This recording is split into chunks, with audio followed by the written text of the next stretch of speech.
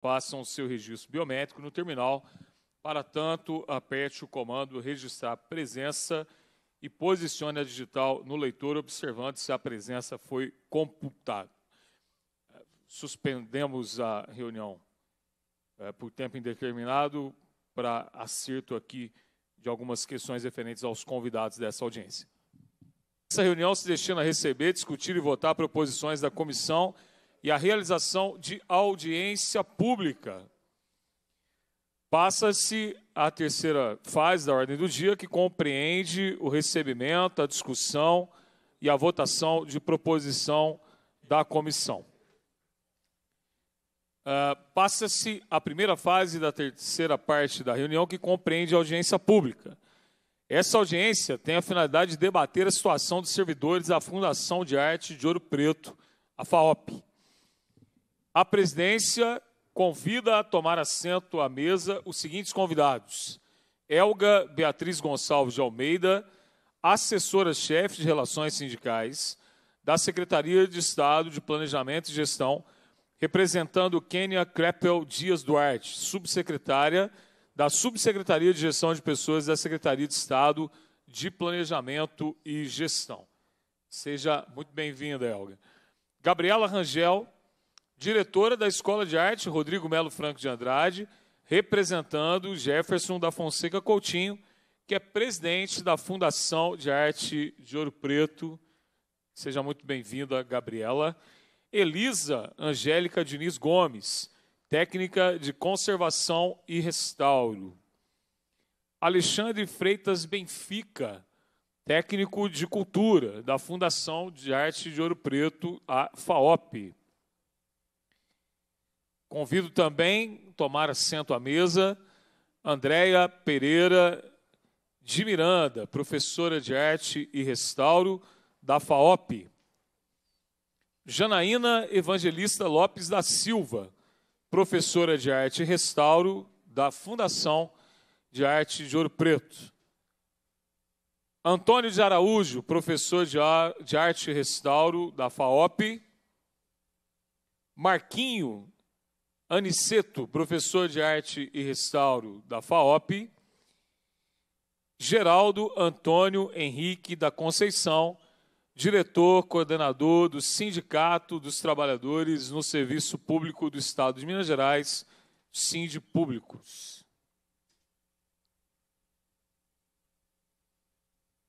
Também cumprimentar todos e todas que se encontram aqui nesse auditório, aqueles que nos acompanham pelos canais de comunicação da Assembleia Legislativa de Minas.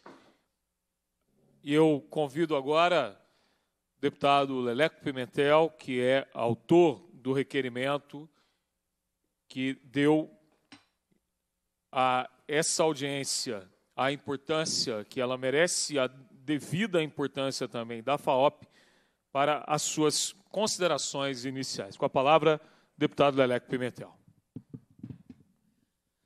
Nossa saudação de bom dia aos meus conterrâneos de Ouro Preto, aos que assumiram Ouro Preto também, né, na sua organização de vida e que tem na Fundação de Arte de Ouro Preto este lugar importante para o nosso estado, importante para o Brasil, importante para o mundo.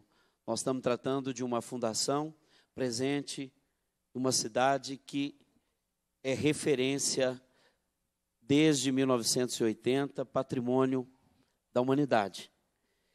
A Fundação de Arte de Ouro Preto, talvez uma das únicas fora da capital, pertencente à Secretaria de Estado da Cultura, ela tem uma importância histórica que hoje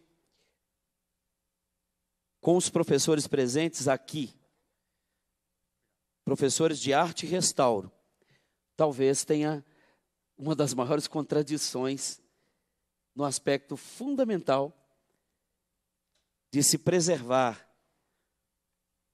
com respeito e dignidade as pessoas que mantêm a fundação, com a dignidade de professores, pessoas que concursaram por meio de lei e que hoje estão colocadas numa situação de indignidade. Eu diria que a invisibilidade que tentaram dar ou que tentam manter com os professores de arte e restauro é, no mínimo, um crime cometido pelo Estado contra aqueles servidores que, afinal, são os que executam a política pública. Portanto, é, eu quero lembrar que, durante o Assembleia Fiscaliza, nós tivemos aqui a presença do secretário Leônidas e eu, do mesmo lugar onde muitos aqui acompanham essa audiência pública, trouxe o tema dos professores que há 10 anos recebem R$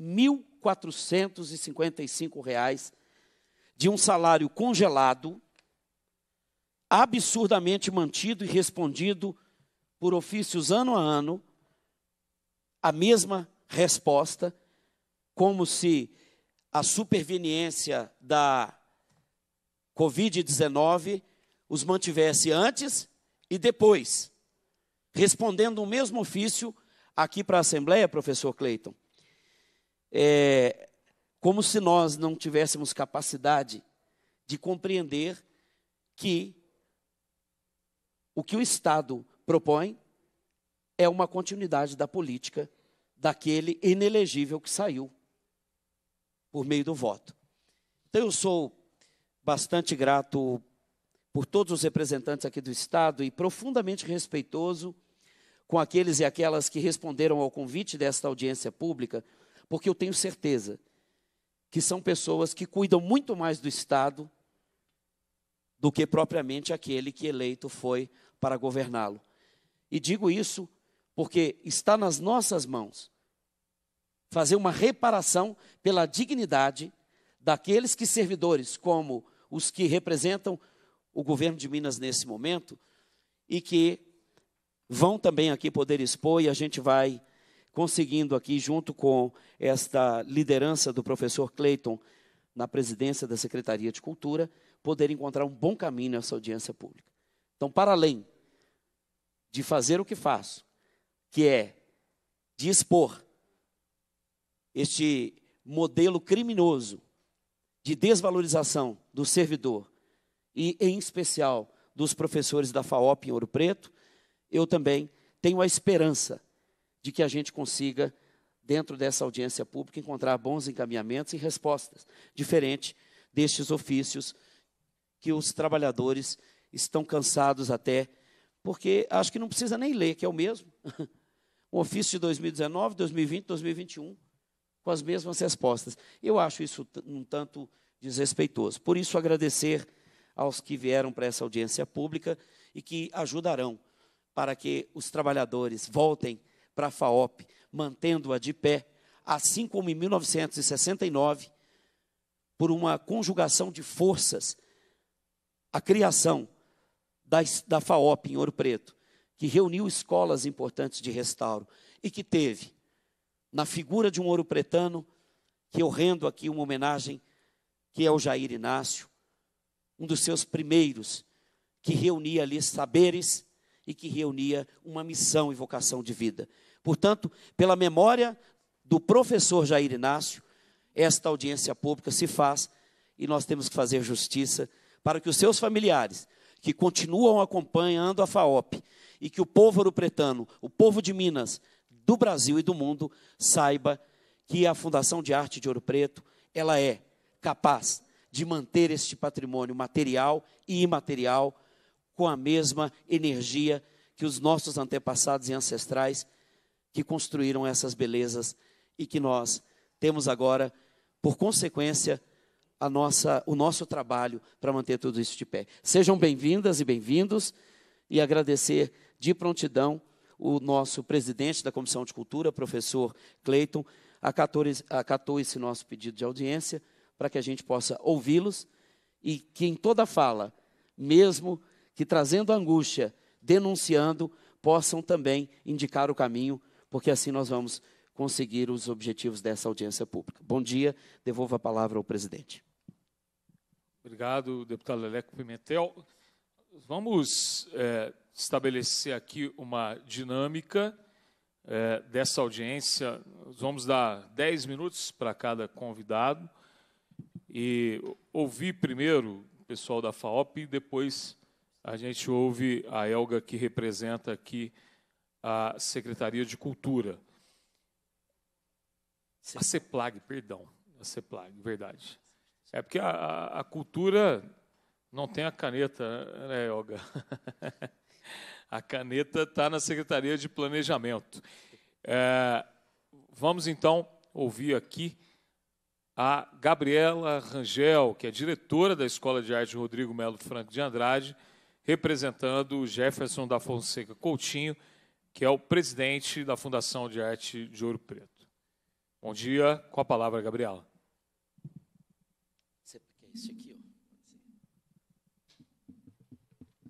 Bom dia. Bom dia, presidente, professor Cleito, deputado Leleco, é, Elga e, principalmente, né, bom dia aí aos nossos colegas de trabalho que estão aqui né, representando a Fundação. É, Alexandre, Antônio, é, Janaína, Andréia, Elisa e também os que estão na plateia, Edinara, Ana Ceci, César, é, e também os alunos que se fazem aqui presentes. Né? É, o, o, nosso presidente ele se encontra em viagem, ele está em Paracatu, então eu vim representá-lo. É, eu sou é, diretora, né, estou diretora da Escola de Arte Rodrigo Melo Franco de Andrade, também sou professora concursada da Fundação. É, a Fundação, como o, o, deputado Leleco colocou aqui, né, é uma, uma instituição, então, que é, foi criada em 1969 e, desde então, é, exerce essa função muito é, importante, né, na, na área da, da arte, da cultura e da preservação do patrimônio cultural. Ela nasce já com a escola, né, já com essa é, qualidade de formadora, né, isso é muito importante para todos nós. E é, o Jair Inácio, como muito bem destacado aqui, ele com a sua preocupação e a sua é, a sua preocupação em ter profissionais qualificados para essa essa atividade, né, que é tão delicada, que é a conservação e restauração do patrimônio cultural, propõe então que é, a fundação tenha um curso para a formação desses profissionais. E essa é a origem do nosso curso técnico em conservação e restauro. E, desde então, a Fundação vem é, formando profissionais para as áreas artísticas, culturais e de conservação e restauração do patrimônio cultural, e também exercendo a sua função, que vai né, para além da escola, na parte também de é, promoção, de exposições, de seminários e muitas outras ações é, que, que, a instituição realiza né, aí ao longo dos anos. Que é, eu sempre falo que ela é uma instituição muito singular e com uma atividade muito abrangente. É, o pleito dos professores ele, ele é legítimo, ele também é um pleito né, que é, a nós, como o, o Leleco trouxe, né, a todos nós é, envolvidos nesse processo, muito interessa, né, é muito importante tudo que a gente conseguir de, de apoio, de solução e de possibilidade né, para, para poder não só é, valorizar os professores, mas valorizar também todos os profissionais da instituição, o próprio trabalho da instituição e poder também, cada vez mais, é, levar esse trabalho que a Fundação faz, que é tão é, singular, que é tão específico, para a maior parte das comunidades e dos, é, dos municípios né, do, do, Estado de Minas Gerais, como é, tem sido é, trabalhado né, na diretriz de descentralização do governo do Estado de Minas Gerais, e isso também tem sido muito importante. É, o, que eu, o que eu gostaria né, de, de destacar é exatamente isso que a gente é, busca. É um desafio que não é novo, é um desafio que ele está posto é, dentro de, do setor público, é, mas também nós estamos aí, ao longo desses anos, é, buscando, é, dialogando né, com as várias instâncias, a, com o apoio do Secult, é, o diálogo com a CEPLAG, sempre buscando construir possibilidades e caminhos para essa melhoria. É, o, o, Estado ele tem é, apontado possibilidades para a fundação, então, né, a gente está aí buscando sempre nos reorganizar para poder exercer a política pública da melhor forma possível e o atendimento a, aos alunos, às comunidades e, e, a todas as pessoas do Estado de Minas Gerais é, dentro do alcance das nossas ações. E a questão da, da, da, é, da questão salarial, né, da questão remuneratória, ela é, permanece na nossa pauta de, de busca de soluções né? e, e dentro de todos ah, os desafios e, e limitações é, que a, a, regulamentação, a legislação e todas as situações nos colocam. Né? É, dentro dessa, dessa, dessa, desse movimento, né? De, de valorização é, dos servidores, a gente também mantém uma política interna na casa, de dentro do possível, trazer o um maior número de colaboradores para a gestão. Né? Então, nesse sentido, hoje são 10 servidores efetivos que fazem parte da gestão da instituição, é, sendo cinco servidores técnicos administrativos e cinco professores. E uma coisa muito interessante também que tem acontecido nesses últimos anos é cada vez mais a integração de todo o sistema de, de cultura é, articulado pela Secult, que tem promovido aí essa integração maior das vinculadas e das instituições da cultura na busca de solução para esses desafios que, na verdade, são desafios comuns. Né? Eles não são privilégio nem de uma nem de outra instituição. É, e dessa forma a gente busca sempre a, a, solução de uma forma conjunta e dentro do que nos é possível é, trabalhar. Eu acho que, né, assim, um, primeiro panorama geral, e estamos aqui à disposição para as questões, para o diálogo e para é, buscar aí esse, esse caminho. Tá? Você é do concurso de 2014? Sim. Muito obrigado, Gabriela. É, com a palavra, Elisa Angélica Diniz Gomes, técnica de conservação e restauro, por 10 minutos.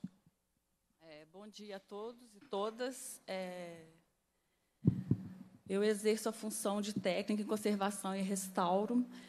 É, o que a gente busca aqui hoje é o que a gente já vem buscando há muito tempo, desde 2015, quando a gente foi efetivado, né?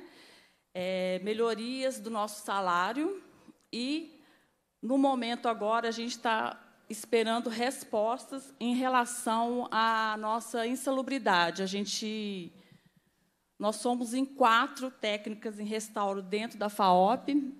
A gente é, trabalha com produtos químicos, como todo mundo, como as pessoas já devem saber, né, quem é próximos do restauro. Então, a gente vem aqui hoje é, buscar diálogo, né, principalmente com relação a isso. É uma luta antiga, né, gente? Desde 2015 que a gente está aí na batalha.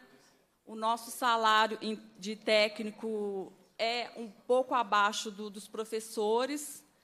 É, a gente trabalha oito horas por dia, entendeu? Então, assim, é, a gente espera hoje é, que a gente possa dialogar, né, para chegar num consenso bom para todos, né? É só isso que eu queria falar. Obrigada. Muito obrigado, Elisa. É, passo a palavra para Alexandre Freitas Benfica, que é técnico de cultura da Fundação de Arte de Ouro Preto, da FAOP. Bom dia aos, Bom dia aos presentes. Eu sou técnico de cultura que é um nome um pouco mais bonito que eles dão para o técnico administrativo. E eu compactuo com meus camaradas aqui, com meus companheiros, porque a nossa defasagem salarial é chega a ser irritante. No, no, meu dia a dia, talvez eu, como técnico de cultura, seja o que exerça ali na FAOP uma, uma função que poucos não num desempenho que é estar em contato com a comunidade diretamente, como funcionário da biblioteca, lidando com gente da comunidade, com criança. E eu adoro o que eu faço. Não tenho nada para reclamar das minhas atribuições. O que me irrita é quando extrapola as minhas atividades. Isso é que é o salário defasado, que as dificuldades para conseguir qualquer coisa né, dentro ali daquela estrutura. E, por enquanto, só queria deixar aqui registrada a minha insatisfação, eu passo minha vez. Presidente, só registrar aqui da minha alegria de reencontrar o Alexandre. Nós fomos estudantes do Instituto de Ciências Humanas e Sociais da UFOP. Entramos juntos. Entramos juntos lá na Universidade Federal. É, e a alegria de vê-lo aqui concursado também e, e podendo é, contribuir aqui com os servidores, né, num espírito de trabalhador, que coloca aqui também, é, com as suas palavras, que a indignidade de um salário de R$ 1.237,01. Porque eu mencionei anteriormente o dos professores. Então, se hoje qualquer pessoa quiser fazer uma comparação, menos que um salário mínimo. Então, eu só queria reverberar mais ainda esta palavra do Alexandre, que para nós é de uma, de uma riqueza é, no sentido da compreensão do que é ser um técnico em cultura, de desempenhar suas tarefas e de ser invisível para o Estado. É, o, o, Alexandre, o deputado Leleco Pimentel acaba de, entre aspas, é, entregar a sua idade aqui, né? Porque se você formou com o Leleco, novinho você não é. Então. Ele é novo, sim, né? Agora, acho que tem um problema com quem faz história, a, a perda de cabelo. Ah. Eu acho que é característica aí. É, mas, brincadeiras. Pessoal, eu só quero é, é, dizer o seguinte: à medida que vocês estão falando aqui, nós estamos é, é, conversando, é, porque um objetivo de uma audiência pública como essa é exatamente nós trazermos as angústias, as agruras, mas também apresentar aqui algumas soluções.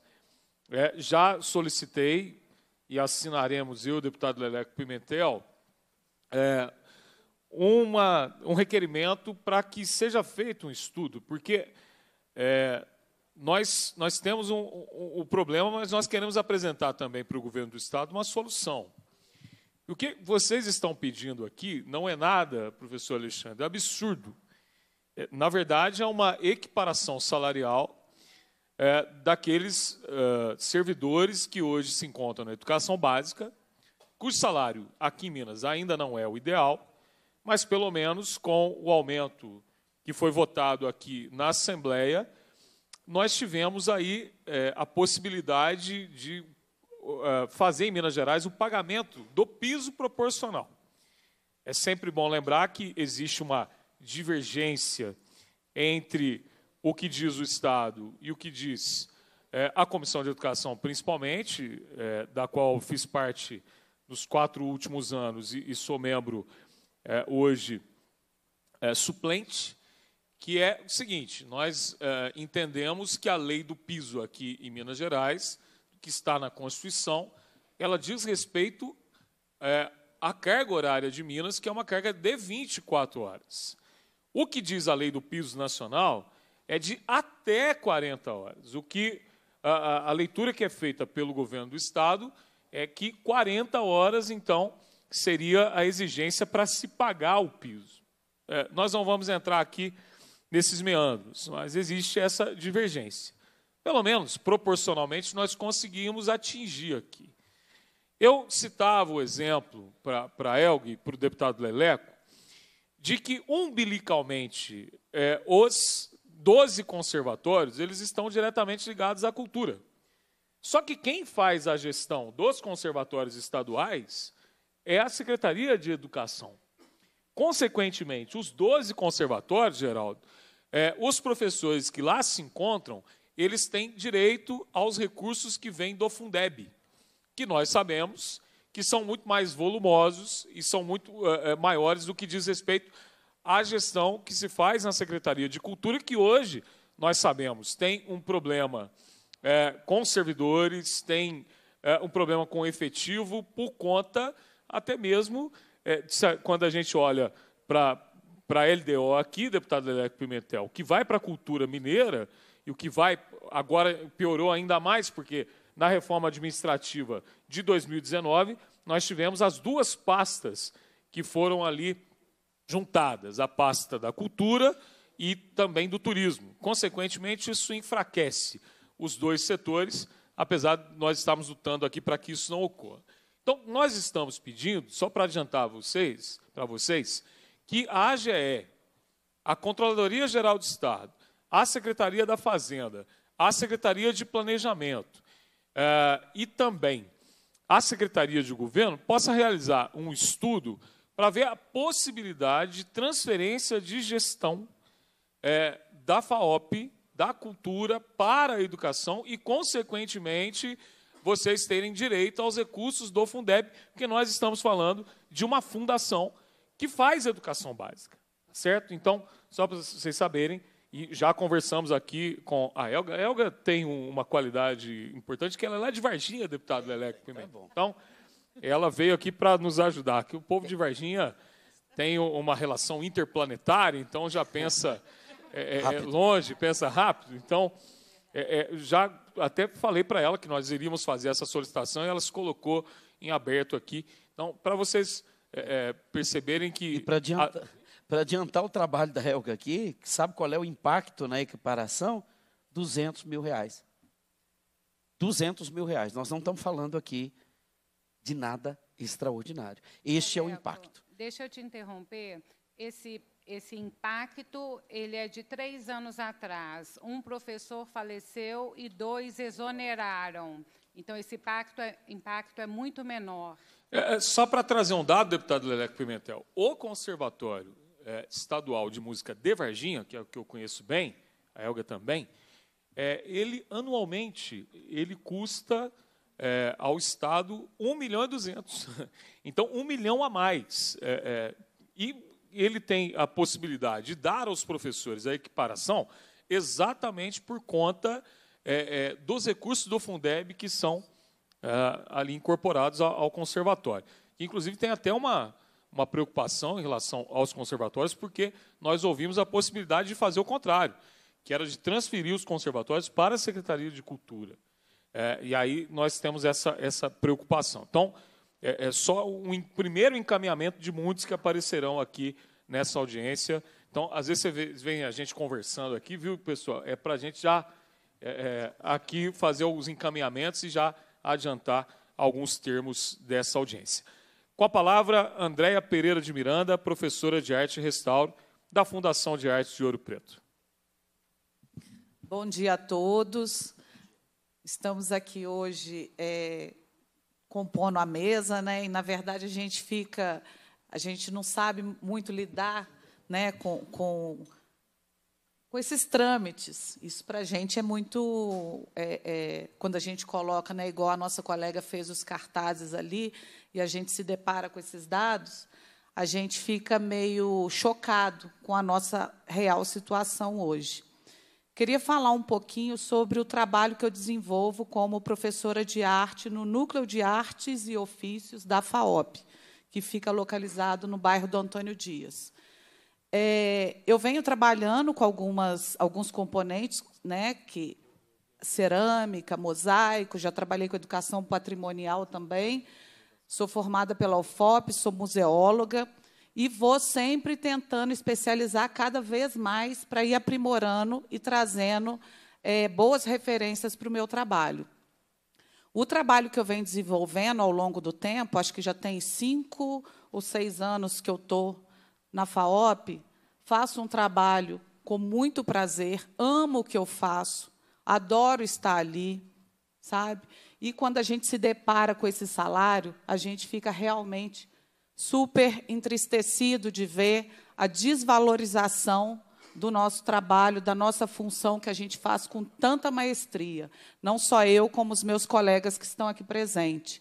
Então, eu queria relatar, por exemplo, um fato que aconteceu na minha aula de ontem. É, a gente tem alguns alunos encaminhados do CAPES e eu tenho um aluno que vem de um distrito, ele sai do distrito de Rodrigo Silva, para estar todas as segundas-feiras com a gente na aula de mosaico de vidro, onde a gente está trabalhando nesse momento questões como memórias afetivas, senso de pertencimento e patrimônio. O que é patrimônio para o sujeito, não, não o que é patrimônio perante as políticas públicas, mas o que é patrimônio para nós, enquanto sujeito singular. E esse aluno, ele vem, ele tem uma depressão muito forte, faz acompanhamento no CAPS, e ele falou ontem da luta dele para estar ali conosco, porque ele não estava num bom dia e a única coisa que ele queria era estar em, na cama dele, porque a, a, depressão ela oscila, né? Tem momentos que você está melhor, tem momentos que você dá uma caída. E ontem, só o fato do jeito que ele chegou, ele já é uma pessoa com mais idade, o Gilson deve estar aí com, deve ter mais ou menos, eu acho que quase 60 anos, e ele veio, é, é, eu falo assim, não é o fazer o objeto, ele vai muito além dessa materialidade. Então, a gente tem aquela pausa para um momento de chá, onde a gente conversa, onde a gente pode chegar um pouco mais perto dos alunos e entender a vivência de cada um. E ali, naquele momento, ele se sentiu à vontade para falar né, da angústia dele e que ele só pensa todo dia em morrer. E que é um desafio muito grande ele pegar o ônibus, sair do distrito de Rodrigo Silva e chegar ali para estar com a gente, porque ali ele sente um acalento, ele se sente acolhido e a gente vê a importância da FAOP, da Fundação de Arte, na vida daquela comunidade. Não só a comunidade que está na sede, na sede de Ouro Preto, mas a comunidade que está nos distritos também. E a gente pôde ver que também foi muito além disso na pandemia. Na pandemia, a gente pôde ver que a FAOP ela pôde estar presente em vários estados brasileiros, com as aulas online, as aulas remotas. E a gente pôde ver a abrangência e a importância que a FAOP teve no, no período pandêmico, onde as pessoas estavam inseguras, com medo, presas na sua casa, a gente preparando conteúdo, sem, sem estrutura, né? porque a gente não. A gente, não só nós, como todos se depararam com como que a gente vai fazer, como que você vai dar aula, como que você vai fazer uma, uma coisa tão prática, chegar até essas casas, chegar até essas pessoas. E o mais importante, fazer com que essas pessoas se sintam de fato menos é, é, menos, como que eu vou dizer? Porque a gente estava passando por um momento turbulento, um momento de insegurança, de perda. Né? E eu posso dizer hoje aqui, eu tenho todas as minhas videoaulas gravadas. Esses conteúdos chegaram até os alunos. Eu mantenho esses grupos até hoje. Os grupos que eu dei aula até hoje, eu mantenho o vínculo. A gente não perdeu esses vínculos. Fiz tudo com muito prazer, com muito gosto, com muito medo, com muita insegurança, mas a gente estava ali, no dia a dia, compartilhando um pouquinho é, dessa nossa trajetória dentro da cultura, que é algo tão importante e que sempre é colocado como pormenor, como a prima pobre da educação, quando a gente fala em cultura. Né? Mas foi a cultura no momento da pandemia que foi o refúgio o refúgio tanto para nós quanto para essas pessoas que estavam buscando é, esse acalento naquele momento de dor. Como esse nosso colega que está lá com a gente, o Gilson, que ele, no momento de dor da depressão dele, ele cortou um dedinho dele. Ele não tem o dedo mindinho. E aí, quando ele chegou lá, que ele falou assim: Eu não sei como trabalhar as minhas memórias afetivas. E eu fui puxando, como se fosse um, um novelo, né, e puxando essa linha e aí ele falou assim: tá, eu sei o que, que eu tenho que trabalhar. E ele fez o desenho, que é uma coisa que não sai da minha cabeça, que ele fez um desenho da mão dele faltando esse dedo, e dentro daquela mão ele colocou vários rostos, que esses rostos é composto pelas pessoas do CAPES que apoiam ele e por nós da FAOP que estamos ali no dia a dia com ele. Então eu vejo a importância da FAOP na vida da comunidade, tanto da sede quanto dos distritos. Eu amo ser professora na FAOP. Eu amo o que eu faço. Então, assim, é, o que a gente está pedindo é algo que, assim, quando o Leleco fala né, do, do, do impacto, por exemplo, na Folha do Estado, é tão irrisório. O nosso, nosso corpo docente ele é mínimo. Ele é mínimo. Que impacto que isso vai causar na Folha do Estado? É praticamente nulo. É irrisório. Né? Sendo que a gente faz um trabalho com tanto prestígio, com tanto amor, com tanto carinho. Os alunos de, de vários bairros de, de periferia, de área de vulnerabilidade, estão ali com a gente também no dia a dia. Às vezes tem aluno que desce para ir para a FAOP, toma geral de dia. E fala assim, poxa, eu estou descendo para fazer um curso de arte onde aqui eu não tenho nota, eu estou aqui porque eu quero estar. Porque a arte vai me permitir ser uma pessoa mais sensível.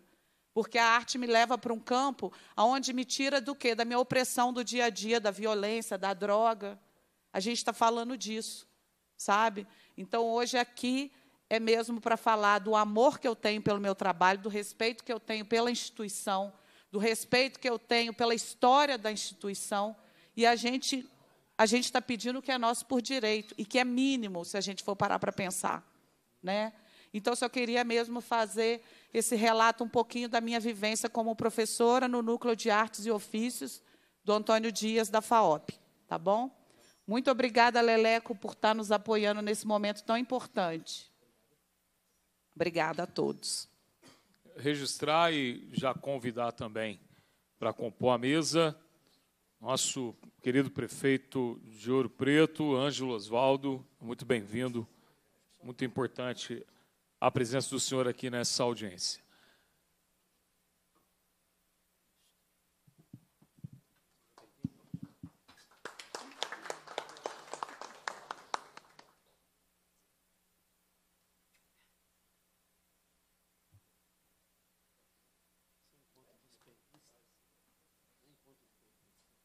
É, enquanto clorofila.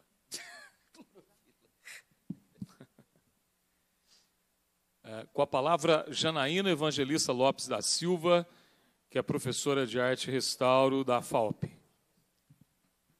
Caros colegas e apreciadores da arte do restauro, é, excelentíssimos políticos, né, deputados, nós estamos aqui na Assembleia, na Casa do Povo. Vocês foram eleitos democraticamente pelo povo. Meu respeito a vocês. Hoje, com um misto de orgulho, preocupação e muita tristeza, eu represento a minha classe, a classe dos conservadores e restauradores. Tá? É, essa classe ela vem lutando cada vez mais pelo seu reconhecimento, principalmente o da profissão. É, nós somos os guardiões da história, os artesãos da memória, os curadores do patrimônio cultural, contudo, não podemos ignorar a desvalorização que muitas vezes enfrentamos. Essa desvalorização ela vem principalmente da Secult, Secretaria de Estado da Cultura de Minas Gerais, onde hoje o nosso salário, desde o concurso 2014 até os dias atuais, 2023, teve 5% de aumento, enquanto a Secretaria da Educação teve 82% de aumento em nove anos. O salário mínimo brasileiro, em nove anos, 82% de aumento. Contra estes números, não existe argumento, são números públicos. Né? Então, assim, é uma situação lamentável. Lamentável para nós que somos concursados. Eu, senhores, eu nasci dentro da FAOP. Meu pai, ele entrou para a FAOP em 1971. Ele se aposentou em 1999 como agente de cultura, ganhando dois salários mínimos. Ele fez um importante trabalho na área da restauração, mentira, restauração não, na área das artes, dos ofícios e do resgate cultural do artesanato mineiro junto ao Sebrae Minas na época. Naquela época, na FAOP, nós tivemos a senhora Vera Pinheiro como presidente, uma figura genial, maravilhosa, entendedora da arte e do restauro.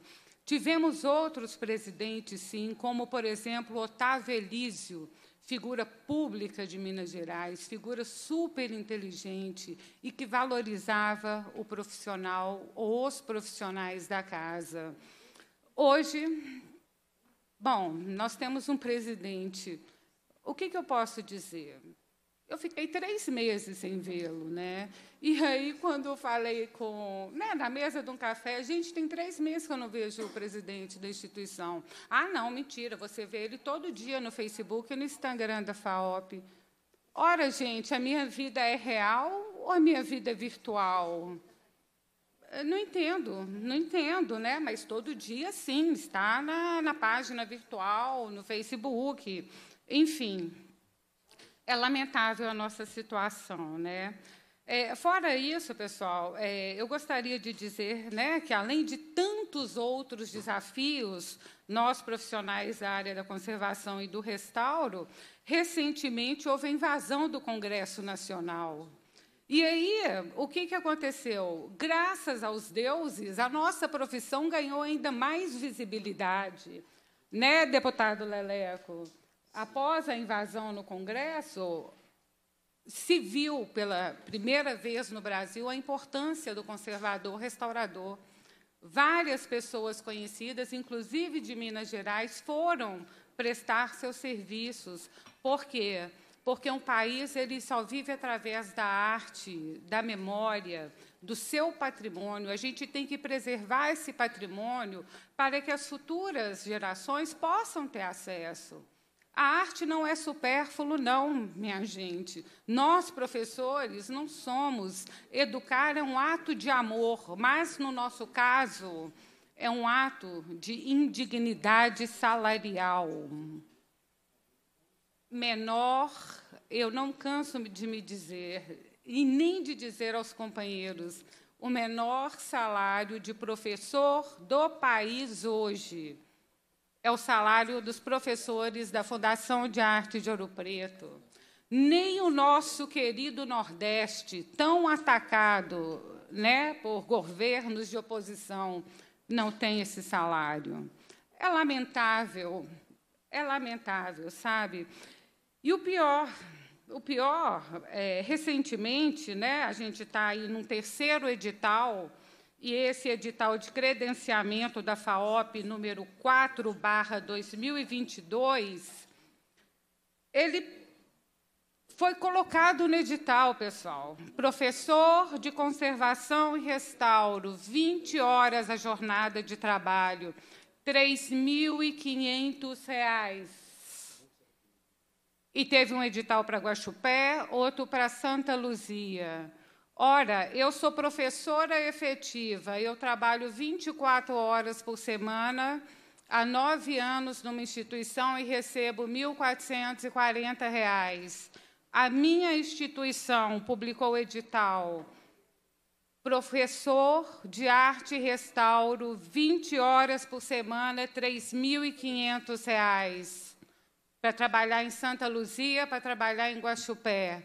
O que, que, é isso? O profissional de Ouro Preto não é valorizado? Os professores efetivos de Ouro Preto não são valorizados?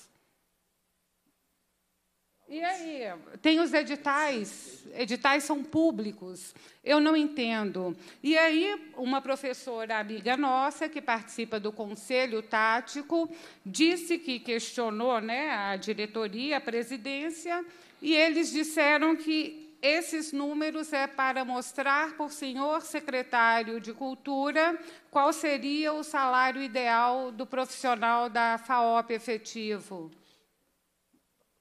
Tem lógica isso? Eu não vi lógica. Né? Então, esse é o argumento da direção e da presidência, quando confrontados no conselho tático. Enfim, eu não sei, sabe? É, é uma tristeza muito grande. Nós devemos né, nos unir, não sei como, Hoje, né, desse grupo de vários profissionais que atuam, quase metade tem cargos comissionados, professores, e eles estão certos de lutar pelos direitos dele. Né? Mas eh, nós não percebemos essa empatia para com os colegas que não têm cargos comissionados. Né? A luta é muito pequena. Hoje, por exemplo, nosso ônibus veio vazio, porque durante o período da pandemia, durante o ano passado, quando teve o retorno de aula presencial, a gente tinha um número muito insuficiente de professores. Então, hoje, os alunos do quarto módulo, do terceiro módulo, estão tendo aulas de módulos anteriores que eles ficaram devendo. E está aqui uma aluna que não me deixa mentir. Eles falaram, professora, a causa é nobre, mas nós já estamos devendo matéria de módulos anteriores. Não temos como ir. E nós, professores, entendemos, eles não podem perder mais aula. Eles perderam muito porque não tinha professores. Mas, graças a Deus, conseguimos contratar alguns professores, sim. Mas, para nossa surpresa, o ano passado uma pediu exoneração, há três semanas um faleceu, e há um mês e meio mais uma professora pediu exoneração.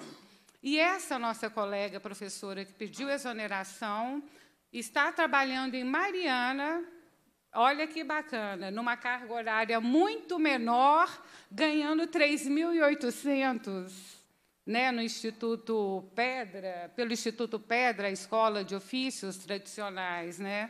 Interessante, né? Outras portas estão se abrindo fora de Ouro Preto, porque parece que Ouro Preto não está valorizando o seu profissional né? Mariana pagando um salário bacana, isso é muito bom, né? Enfim, é, eu acho que a minha fala é essa. Eu gostaria também de dar parabéns né, é, aos alunos da, do IFMG de Ouro Preto, aos alunos da UFMG do SECOR, que obtiveram nota máxima do MEC, nota 5, e estão aí com a gente nessa luta. Muito obrigada. Bom dia a todos. Obrigado, Janaína.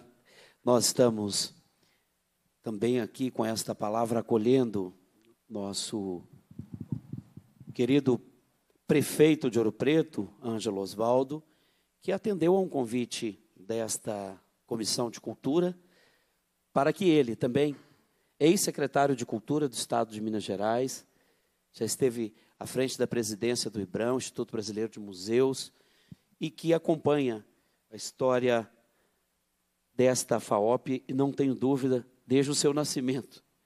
Então, nós temos aqui também, nos depoimentos de cada professor, cada professora, do nosso companheiro Alexandre, né? É, e nós estamos aqui também neste diálogo para que a gente possa chegar a requerimentos que, de fato, é, possam ser mais fidedignos aqui, para que a gente tenha uma visão também de que, é, às vezes, uma solução sem pensar, ela pode é, provocar uma situação inesperada na fundação. Então, em relação ao requerimento, o que se espera é uma equiparação imediata e claro, que aqui os professores também têm direito, né? Uma equiparação, mas que leve em consideração também aqui que há um reparo a ser feito é, em relação ao salário e esta dignidade do trabalho.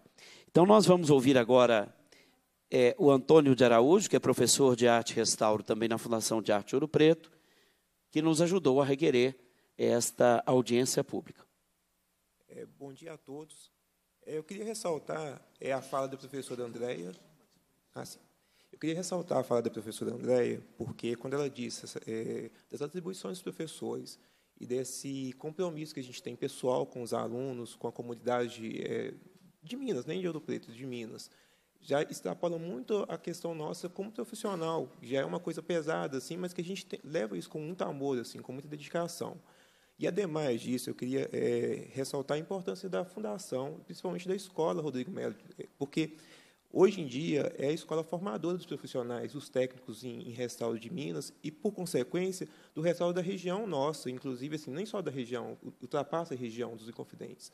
E para ter essa, esse compromisso, para ter essa dedicação, a, a, gente necessita muito uma capacitação muito grande dos professores. É, hoje em dia, quase todos os professores da casa eles, eles têm uma formação superior à formação do concurso, porque é necessário, que eu falo isso sempre, é um curso muito especializado, com uma disciplina muito grande, com é, é, determinadas sensibilidades que estão ligadas à questão do nosso patrimônio, do nosso restauro, e que demanda uma formação. E essa, demanda, essa formação ela demanda dinheiro. Então, assim, a gente sempre pensa na cultura de uma forma muito carinhosa, mas ela demanda muito, essa formação demanda um, um investimento muito grande.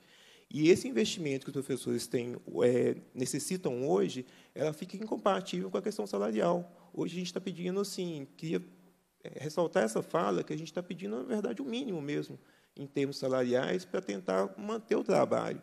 E muitas é, das coisas que eu vejo hoje, principalmente ligada a curso de conservação e restauro, é a questão demandar essa formação, demandar um profissional bastante capacitado e que hoje em dia, como o Janaína disse, a gente está com um déficit de professores, porque muita gente não consegue se manter como professor né, dentro da área com esse, esse, salário, os técnicos também, com o salário de técnico um salário de professor, fica difícil demandar. A gente já perdeu praticamente a metade dos professores que entraram no concurso. Né?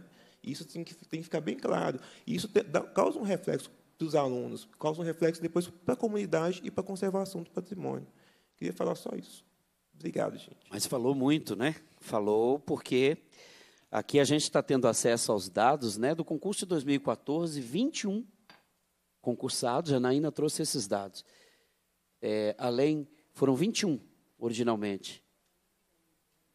A lei, eu, eu, eu me lembro desse dado porque a gente. E agora nós estamos com um número que chega a um terço menos de um terço. Ou seja, um concurso que completa 10 anos no ano que vem, nós já tivemos uma perda de mais de dois terços dos trabalhadores servidores. É uma política pública é, em curso é, é, que tem uma relação direta com a história da Fundação de Arte Ouro Preto e que, é, se nós aqui tivermos é, é, compreensão de que, se não houver um freio imediato a esse processo, nós estamos aqui colocando em risco a história da fundação é a própria fundação. Nós encontramos outro dia uma técnica em restauro lá no Bom Jesus do Bacalhau. Uma alegria de vê-la ali inserida dentro de uma obra é, também é, é, de restauro e conservação, mas a alegria de ser daquela comunidade. Então, na sua fala, professor Antônio, a gente percebe é, que não é a região dos Inconfidentes, nós estamos falando de Minas Gerais, que tem uma relação diretamente ligada à FAOP nesses anos de história. Em torno de 400 alunos por semestre.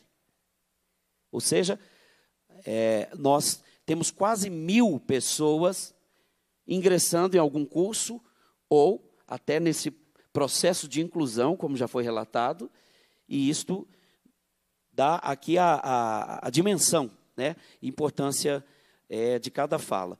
Importante agora que a gente escute também o ouro pretano, né, músico, professor Marquinho Aniceto, professor de arte e restauro, também da Fundação de Arte de Ouro Preto.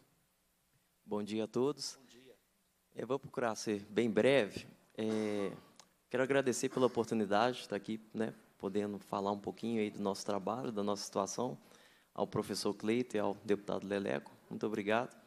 Eu sou Marquinhos Seto, sou graduado em música pela UFOP, sou formado na Bituca, Escola do Milton Nascimento, o ponto de partida, né, em Barbacena. Eu trabalho na FAOP, entrei também nesse concurso, 2014, dou aula para crianças e gente de todas as idades, né? homens, mulheres, crianças, jovens, adultos. E também né, compactuo com os meus colegas da nossa situação e quero reforçar que a gente hoje tem lá na FAO professores com pós-graduação, ainda né, nesse, nesse grupo que está lá, professores com mestrado, doutorado. Então, assim, é muito triste né, de ver pessoas de alto gabarito, gabarito ter esse salário que a gente tem hoje. Então, né, gostaria de trazer isso e gostaria de fazer um pedido. Não sei se, né, se eu, assim eu posso falar, mas a gente está vindo aqui para buscar respostas, né? E a gente está buscando aí há muito tempo. Então, eu gostaria de fazer o pedido para, não sei se eu posso falar isso, para que não demore, né? Porque é, é uma situação que a gente está vivendo aí que, que alguns professores já não aguentaram mais, já não suportaram. É muito triste, porque era uma equipe muito boa, professores super qualificados, como ainda tem, mas que estão né, saindo porque estão encontrando oportunidades melhores, estão buscando melhores oportunidades, né, onde que era para a gente estar numa instituição que, que, nos valorizasse, né? Então é um pedido que eu faço, né, para que a gente tenha essas respostas aí concretas, né? Obrigado. Gratidão também, Marquinhos. Olha, eu, queria, eu deixei de falar isso aqui. Eu fui servidor da FAOP durante processo em que Ângelo era secretário. Nós pudemos também é, contribuir. E tenho muita alegria de ter passado por ali como aluno durante longos anos. Eu que sou músico é, autodidata da infância e que sempre procurei na Fundação de Arte de Ouro Preto também fazer os cursos. Me lembro do curso de arte cênica que foi antes da transição ali ainda do período da, do IFAC.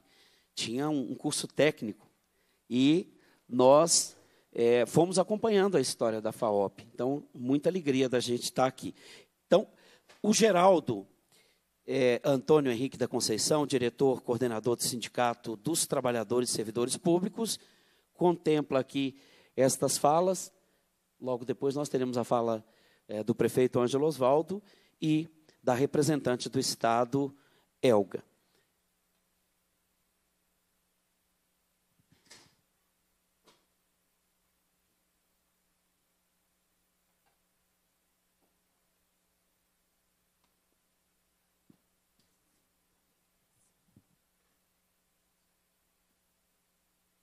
Professor Cleiton, é, eu gostaria de agradecê-lo né, pela audiência pública solicitada por esta casa e, em seu nome, saudá-lo, saudar também todos os demais parlamentares que contribuíram para esse evento acontecesse. Só para me apresentar, Geraldo, é porque o Cleiton ele pediu que justificasse, ele foi votar um ah, tá. projeto de lei Eu sou o deputado Leleco Pimentel, do Partido dos Trabalhadores. Sim. Os demais deputados, inclusive a, a você também. Ao nosso prefeito de Ouro Preto, doutor Ângelo Osvaldo, do qual nós, do movimento sindical, já sentamos várias vezes, né, em, em outras situações, e sabemos da sua luta árdua pela cultura não só em Minas Gerais, mas no Brasil. Um tema complicado que está se debatendo hoje, que é a situação da FAOP e de seus servidores. O Sindicato dos Servidores Públicos acompanha essa luta desde a época da criação das carreiras, lá nos anos 2006, 2007, onde o governo do Estado de Minas Gerais, naquele período, primeiro, não ouviu os servidores e, segundo, não deu atenção à instituição chamada FAOP, que é, por todos aqui citados, é uma escola de restauro de uma importância ímpar na questão da cultura, não só de Minas Gerais, mas do Brasil. E devido o Estado não ter dado essa importância naquele período, Servidores e instituição vivem hoje essa situação calamitosa e que nós temos acompanhado de perto desde por volta de 2014, 2015, quando lá tivemos por várias vezes reunidos com os trabalhadores, professores, que reclamam ao Estado o seu não reconhecimento como professor. E como eu disse, tudo, tudo culpado, ou todo erro acontece na construção das carreiras que não obedeceram esse quesito. E hoje, mesmo com os nossos professores da rede pública estadual ganhando também muito pouco, né? Porque a vida do professor nesse país é desvalorizada, mas que pelo menos, talvez, seria interessante que esses trabalhadores, professores da FAOP, pudessem ser valorizados com o salário, pelo menos o pouco que já ganha os trabalhadores da educação pública em Minas Gerais. Porque nós não podemos considerar salários de R$ 2.600, R$ 2.700 também como salários dignos e muito menos os da FAOP, como foi dito aqui, de salários de 1.400, salário abaixo do salário mínimo. Isso para Minas Gerais é uma vergonha. E nós do movimento sindical estamos enfrentando isso há anos. Desde 2013 que o Estado não recompõe com dignidade os salários dos servidores públicos de Minas Gerais. Se os servidores da, da Fundação da FAOP estão aí com R$ 1.200, este é o piso que se paga hoje no Estado para os servidores de nível médio. É uma vergonha. É, e nós estamos correndo atrás para tentar vermos esse ano de 2023, pelo menos a recomposição da inflação de 2022. E mesmo assim estamos encontrando dificuldades. Mas essa questão da cultura, ela vai muito mais além no meu entendimento. Eu vejo que da mesma forma que a educação recebe recursos federais, a cultura em estados como Minas Gerais também teria que receber recursos federais, até para manter instituições como a FAOP de pé, né? com força, com vigor porque a atuação da FAOP, para quem conhece bem o trabalho, igual nós conhecemos, apesar de eu não ser da área da cultura, mas sou oriundo de uma cidade histórica que respira também cultura, eu entendo muito bem a importância de você valorizar uma instituição como a FAOP em todos os aspectos, para que Minas Gerais tenha uma cultura valorizada e o que não tem. Porque se os servidores aqui da, da, da FAOP estão reclamando, junto à Assembleia Legislativa, uma solução para os seus problemas, não tenha dúvida que as demais áreas da Secretaria de Cultura do Estado de Minas Gerais está também colocado à margem, porque não se valoriza a cultura. Fala muito né, na cultura, mas na hora de valorizar os trabalhadores que estão ali na frente, é uma desvalorização que a gente não entende o motivo por quê. Salários baixos, servidores desmotivados, servidores que chegam numa instituição como a FAOP, foi dito aqui, eu já estou acostumado com isso, de ver e de ouvir, eles vão lá, se preparam e o mercado vai lá e buscam eles porque o Estado não os mantém numa instituição tão importante como a FAOP. Então, o que a gente propõe à Assembleia Legislativa é, deputado, é que ela tome uma iniciativa de negociar junto ao governo do Estado soluções para esse problema tão sério que existe na FAOP há muito tempo. Há quase uma década que eu acompanho essas dificuldades desses trabalhadores. A Assembleia é muito competente, há de encontrar uma solução que possa trazer dignidade a esses trabalhadores.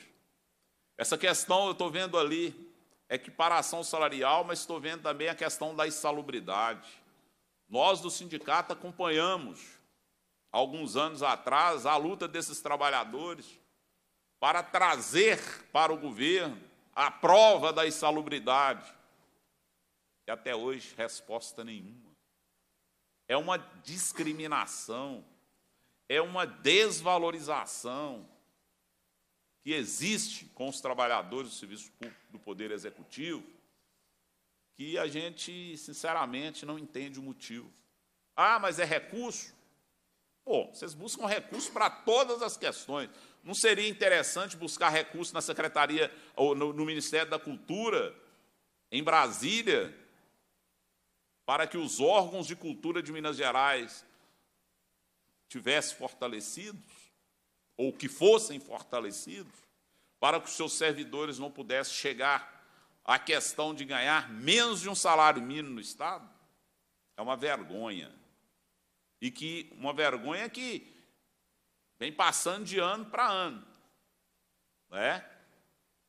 Já são quase 10 anos que a gente vê essa situação. Será que nós vamos, daqui 10 anos, quem estiver vivo, vai ver os trabalhadores que ainda vão restar na FAOP, se ainda vai existir, né? porque ninguém sabe. Vim aqui na Assembleia Legislativa reclamar que eles estão ganhando menos de um salário mínimo, que não é reconhecida a salubridade. E não espere muito pela resposta do governo, não. Tá?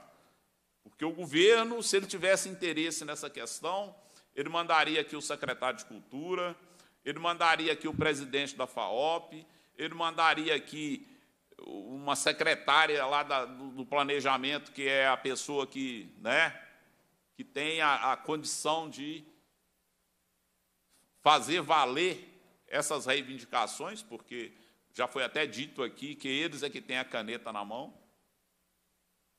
Mas é importante, deputado, que está presidindo a mesa, que vocês entendam que a Assembleia Legislativa também tem essa importância e esse poder de ajudar esses trabalhadores da FAOP a, a mudar esse paradigma que existe.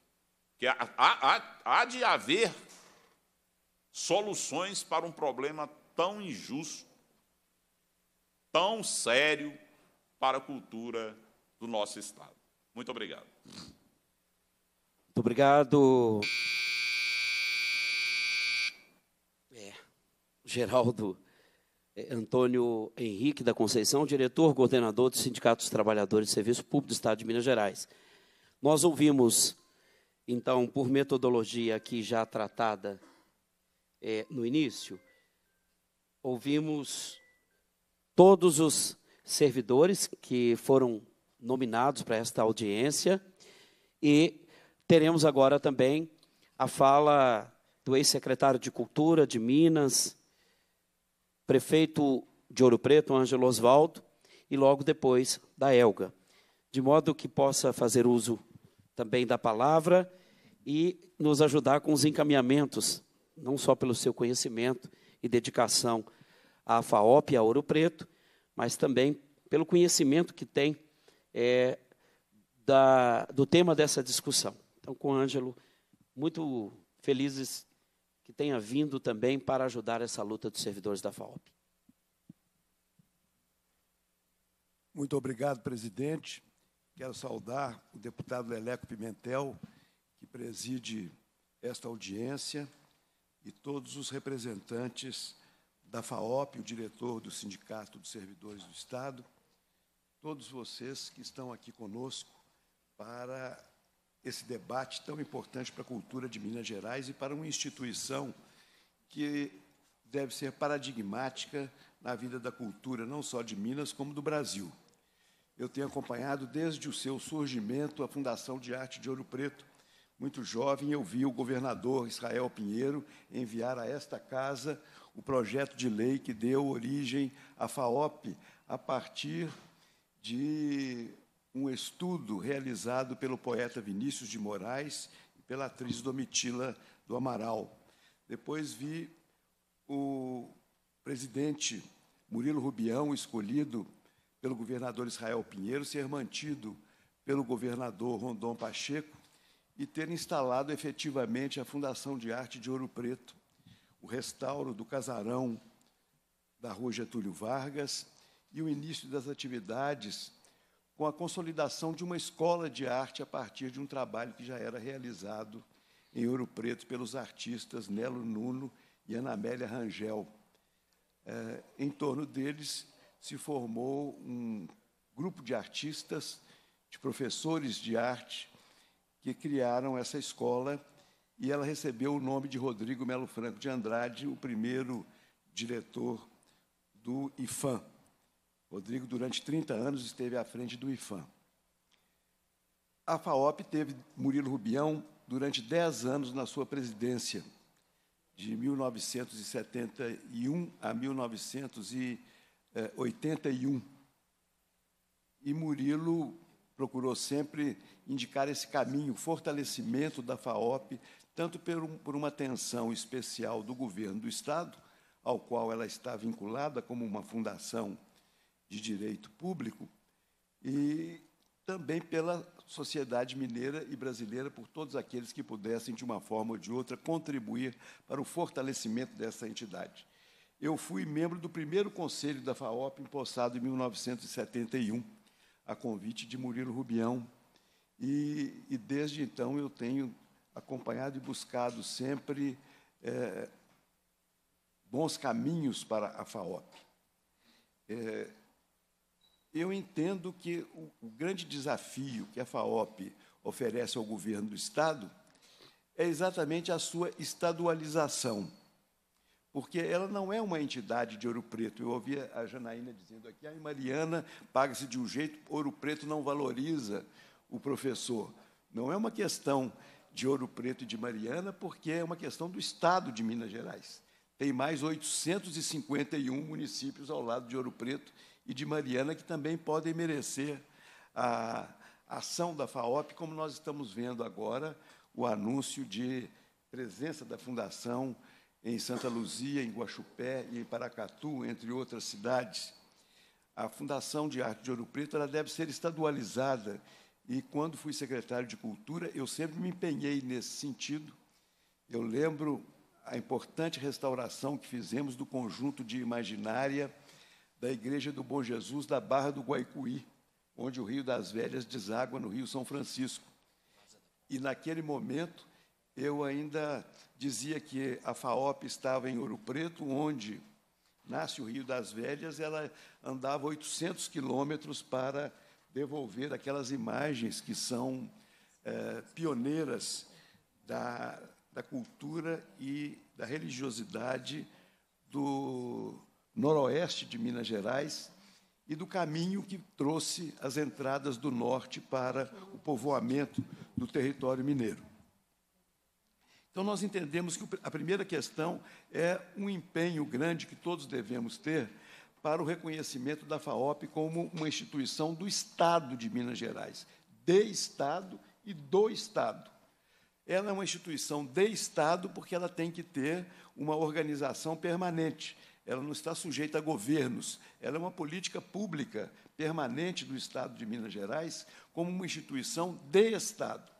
Agora, ela é do Estado de Minas Gerais porque ela é estadual e ela deve estar é, ampliada por toda parte. Eu consegui, quando secretário de Cultura do governador, do governador Itamar Franco, a doação da casa de Pedro Aleixo para a FAOP, através do padre José Carlos Brande Aleixo, professor da Universidade de Brasília e membro da Academia Mineira de Letras, que, tendo herdado aquele casarão comprado por seu pai, o presidente Pedro Aleixo, ele o destinou à FAOP. Nós ali instalamos não só o Memorial Pedro Aleixo, eh, que era uma condicionante, mas a Escola de Arte Rodrigo Melo Franco de Andrade.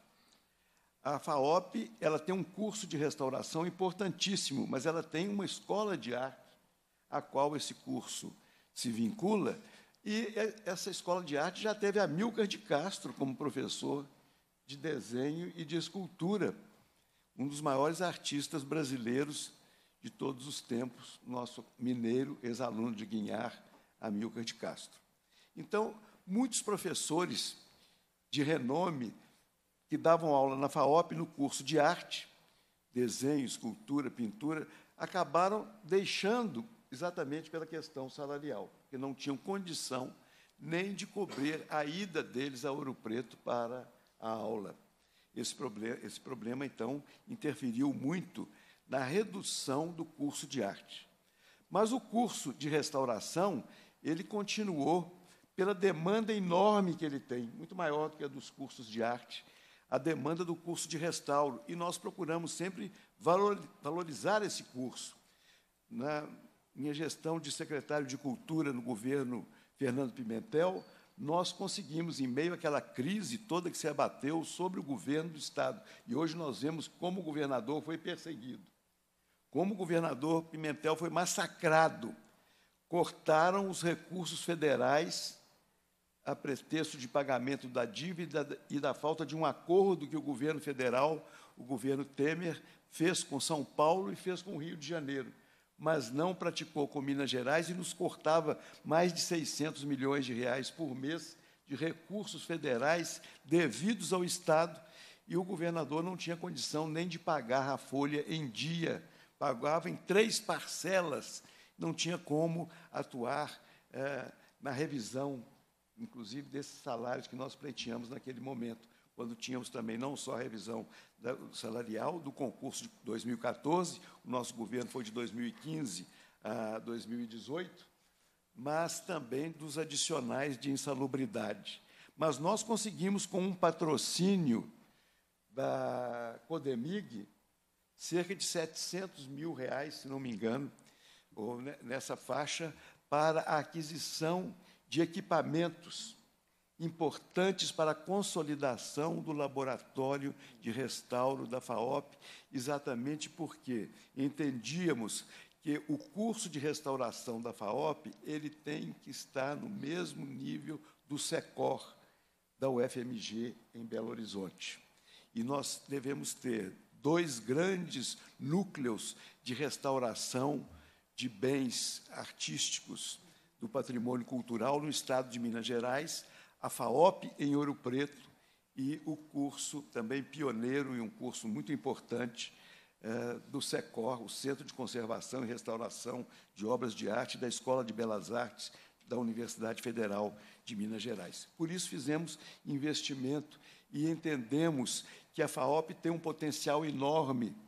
Ainda agora, há poucos dias, eu participei de uma cerimônia em Cachoeira do Campo, mais precisamente no dia 8 de setembro, em que a FAOP devolvia a matriz de Nossa Senhora de Nazaré de Cachoeira do Campo, uma das igrejas mais antigas de Minas Gerais e mais importantes da primeira fase do Barroco Mineiro, várias imagens que foram restauradas pelo laboratório da FAOP, pelos alunos e professores da FAOP. Ao tempo também que vemos outras imagens em outras cidades do estado de Minas Gerais. Eu mesmo, como secretário, participei de várias entregas, porque a FAOP atende ao estado inteiro e é uma demanda que, inclusive, fica refreada à medida que a FAOP não consegue é, abrir espaço com mais é, alunos, com mais professores, com mais técnicos atuando nesse serviço tão importante para a conservação é, do nosso patrimônio cultural, especialmente dos, dos, elementos artísticos, dos bens artísticos que compõem os acervos do patrimônio de cultura de Minas Gerais. Então. Pode usar o tempo da fala, Ângelo para que a gente vamos, vamos, vamos, partir para uma conclusão, mas eu queria era, era colocar isso. Então, é, é muito importante que a, a FAOP dispõe hoje de um grande laboratório. Ela dispõe de espaços físicos privilegiados, além desse imóvel que foi o antigo Liceu Mineiro, na rua Getúlio Vargas, antiga Rua do Sacramento, restaurado por Murilo Rubião, com Jair Inácio, primeiro professor de restauração, participando da recuperação dos elementos artísticos daquele casarão, ali no saguão de entrada é, além da, do casarão Pedro Aleixo, incorporado também à FAOP, nós conseguimos que o casarão de Bernardo Guimarães, do escritor Bernardo Guimarães, pertencente ao Estado de Minas Gerais, desde 1924, quando ele foi adquirido pelo Estado, retornasse ao Estado, eu consegui isso, é, por meio da reversão do, da sessão que estava feita à Sociedade São Vicente de Paulo, para que nós conseguíssemos restaurar aquele casarão e ampliar os espaços da FAOP, que tem ali também um, uma parte do núcleo de restauro, o casarão das cabeças, a, a casa de Bernardo Guimarães. Então, se a FAOP tem hoje esses espaços, são prédios históricos de grande relevância como arquitetura, mas espaços importantes para as atividades pedagógicas da FAOP, as atividades artísticas, temos lá a Biblioteca Murilo Rubião, temos esse laboratório, temos Galeria de Arte, a Galeria Nelo Nuno. É importante que ela tenha recursos para tanto.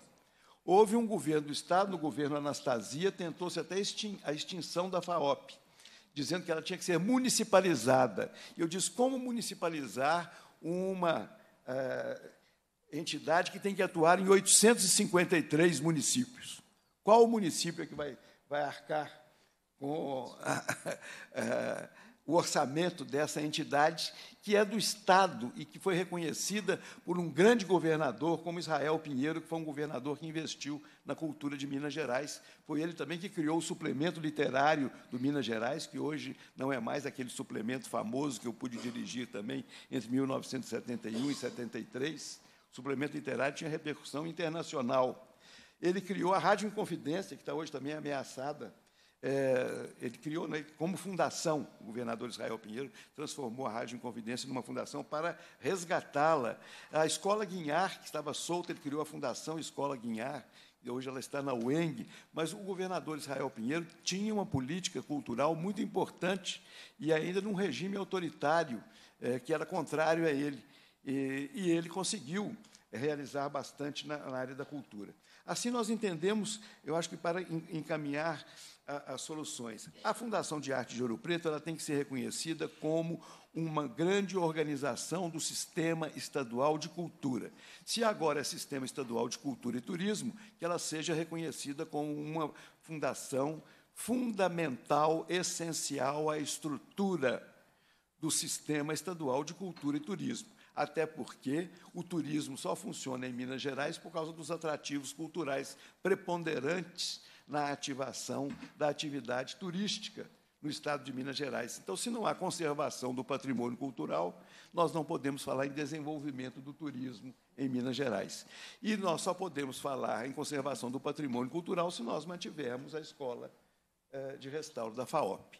Então, vê-se que é fundamental que o Estado tenha a instituição no sistema estadual de cultura e turismo.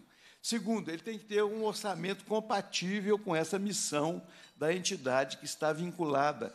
Nós vimos que houve grandes mudanças, é, grandes mudanças. Eu até cumprimento o secretário Leônidas Oliveira, porque ele é um homem da área. Eu conheci o Leônidas como ele é arquiteto, museólogo, eu o conheci como diretor do Museu Abílio Barreto. E, e, creio que ele salvou a Secretaria de Estado de Cultura, porque ela ia, é, no primeiro ano do mandato passado, ela, ela ia se esvaindo, a Secretaria de Cultura, assim como a Secretaria, como o setor de turismo a ela anexado. E ele conseguiu resgatar.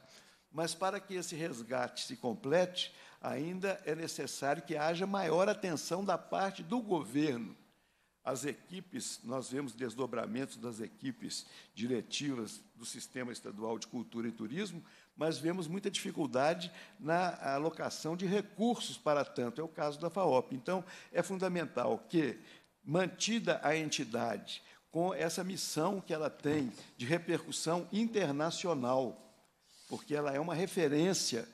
Nós vemos vários institutos na Espanha, em Portugal, é, que passam por crises também. A Fundação Ricardo Espírito Santo, em Portugal, quase foi extinta, mas ela se mantém porque o governo acabou reconhecendo que ela é de grande importância para a conservação do patrimônio cultural português.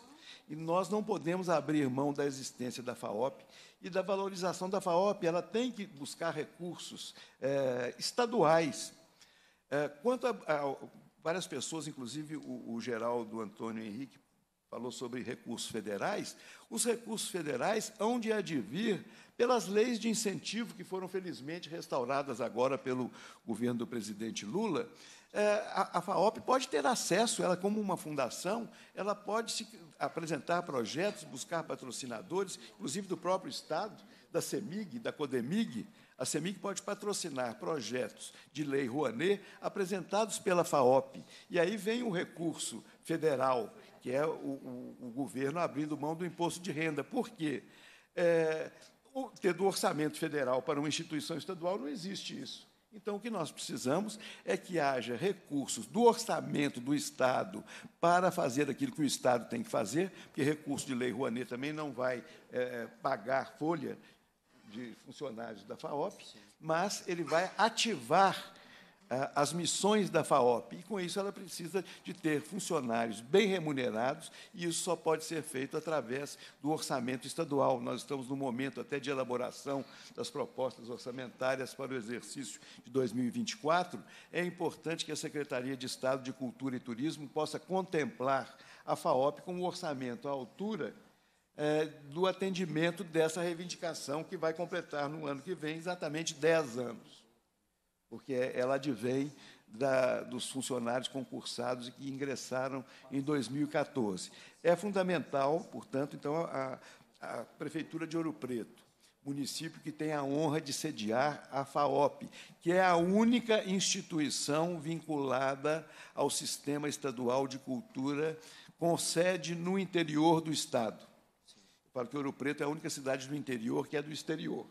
Mas é, nessa cidade do interior, é, ela é a única Ouro Preto que tem a sede de uma fundação estadual. Portanto, é muito importante, de cultura, portanto, é muito importante que a, a Secretaria possa obter da Secretaria de Planejamento do Estado, e a, a secretária de Estado de Planejamento é neta de um grande intelectual, o escritor Benito Barreto, da Academia Mineira de Letras e um homem que tem um grande apreço por Ouro Preto também, porque ele escreveu quatro romances sobre a Inconfidência Mineira, passados em Ouro Preto. É o avô da secretária. Se ela ler a obra do avô dela, ela vai se sensibilizar com esse pleito da Fundação de Arte de Ouro Preto. A secretária Laura é, e sabendo que o, o, escritor Benito Barreto, e eu escrevi os prefácios, os quatro prefácios, então eu sei que ele tem um, um vínculo muito grande com Ouro Preto. Mas é, eu volto a insistir, não é uma questão apenas de Ouro Preto a reivindicação veemente que nós fazemos como município, como comunidade, como público direto da FAOP, beneficiado pela FAOP, mas eh, nós fazemos essa reivindicação como mineiros, porque é uma entidade que serve ao Estado de Minas Gerais e ela tem que ser valorizada como um instrumento da política pública estadual de cultura e turismo do Estado de Minas Gerais e os seus servidores, especialmente os técnicos em restauração. Neste momento em que o turismo cresceu tanto em Minas Gerais e os monumentos estão demandando cada vez mais intervenções de conservação e restauração de obras de arte. Nós eh, entendemos que é fundamental é, esse realinhamento do orçamento e dos salários e dos benefícios a que têm direito ah, os funcionários da FAOP, especialmente os professores da sua escola de arte e, especialmente, esses servidores estão dedicados à, à, restauração e que mantém uma legenda viva, que é o nome do professor Jair Afonso Inácio, ouro pretano, que completou no ano passado, completaria no ano passado 90 anos, faleceu prematuramente, mas que implantou esse curso de restauração e que é uma referência hoje é, no Brasil todo. Vem gente de, todo, de outros estados também estudar na Fundação de Arte de Ouro Preto, porque é uma referência o curso de restauração. E nós entendemos que, que, sem esse curso não podemos falar em conservação do patrimônio, e se não conservamos o patrimônio, não podemos falar em cultura, e se não falarmos em cultura, não temos turismo também em Minas Gerais. Então, o governo do Estado nos deve isso. Eu, eu registro aqui é, um voto de confiança na ação do secretário Leônidas, Oliveira, na expectativa de que ele possa conduzir, é um homem hábil, inteligente, que ele possa conduzir com segurança é, essa questão. O presidente Jefferson Fonseca também, que ele possa bem encaminhar junto ao secretário, e o secretário junto à secretária Laura Barreto e ao governador do Estado, que tem essa responsabilidade. Inclusive, ele é de Araxá e, e sabe que a igreja de São Domingos de Araxá, a igreja antiga de Araxá, é, ela já foi restaurada também, mas não foi toda restaurada como deveria. Então, na própria cidade de Araxá e no Museu de Dona Beija, que ficou tão menosprezado durante tantos anos, ele tem em Araxá necessidade de bons restauradores na terra dele. É importante que ele possa prestar atenção nessa colocação que está sendo feita e que será acompanhada é, também pelas demais cidades históricas de Minas Gerais. Eu estou falando presidente Leleco, não só como prefeito de Ouro Preto, mas como presidente da Associação de Cidades Históricas de Minas Gerais, que congrega cerca de 40 municípios onde há tombamento federal e estadual, pelo IFAM e pelo IEFA, e são municípios que têm o maior interesse na, na, que o curso de restauro da FAOP seja mantido com dignidade e com qualidade, com a qualidade que ele tem, mas com a dignidade que ele merece, para que nós possamos ter os benefícios desses profissionais eh, nas nossas cidades que, que, conformam a Associação das Cidades Históricas do Estado. Então, agradeço muito a Assembleia Legislativa, cumprimento o deputado Leleco por essa eh, proposta, juntamente com o, o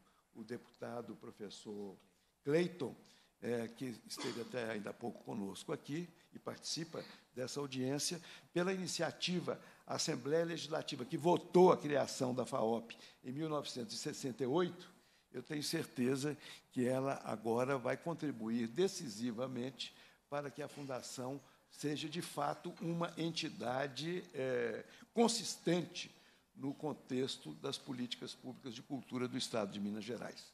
Obrigado. Obrigado, Ângelo. É para nós, para todos nós que estamos aqui presentes a esta audiência pública na Comissão de Cultura, mas para aqueles que acompanham também a transmissão direto a, e da, da nossa página da TV Assembleia, e para aqueles que vão recuperar também aqui esta importante fala do presidente da Associação dos, das Cidades Históricas de Minas Gerais. Então, isso traz a dimensão é, da Fundação de Arte de Ouro Preto, que hoje vem ser defendida pelos seus professores e técnicos, e também pela Gabriela, que está aqui representando a diretoria né, da Escola de Arte Restauro. Então, Nós estamos na Comissão de Cultura e o presidente desta comissão, eu sou membro, ele precisou ir para a comissão de para a FFO, né, de, de Finanças e Orçamento, porque o governador de estado resolveu mandar um projeto de lei para aumentar aí os impostos é, daquilo que chama de supérfluos. E dentre eles está o álcool, a cerveja, mas tem alguns dos é, elementos que eles chamam de supérfluos ali, que é bem da verdade, é uma falta de compreensão. Então, hoje a casa está dividida entre este tema importante e relevante para a sociedade. Parece que o governo de estado ele anda meio perdido em relação às coisas que são prioridade no estado. Eu quero lembrar que durante o Assembleia Fiscaliza, eu mesmo fiz a defesa deste tema que ora é debatido em audiência pública diretamente ao secretário Leônidas, que aqui se fez presente. Ele concordou, Ângelo, ele concordou de que era um absurdo completo. E disse: Isso está gravado.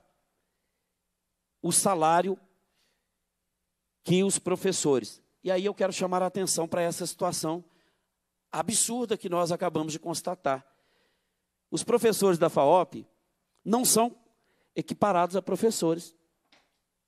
Eles dão aula para o pro, pro programa Trilhas do Futuro e não são reconhecidos como professores. Então nós estamos diante de uma situação que nos requer, primeiro, esta equiparação da natureza do cargo aos cargos que já existem no Estado, na Secretaria de Estado da Educação e em outras secretarias. Mas nós queremos a equiparação. Não que a gente esteja aqui dizendo que o piso salarial dos professores já foi atingido, porque não foi.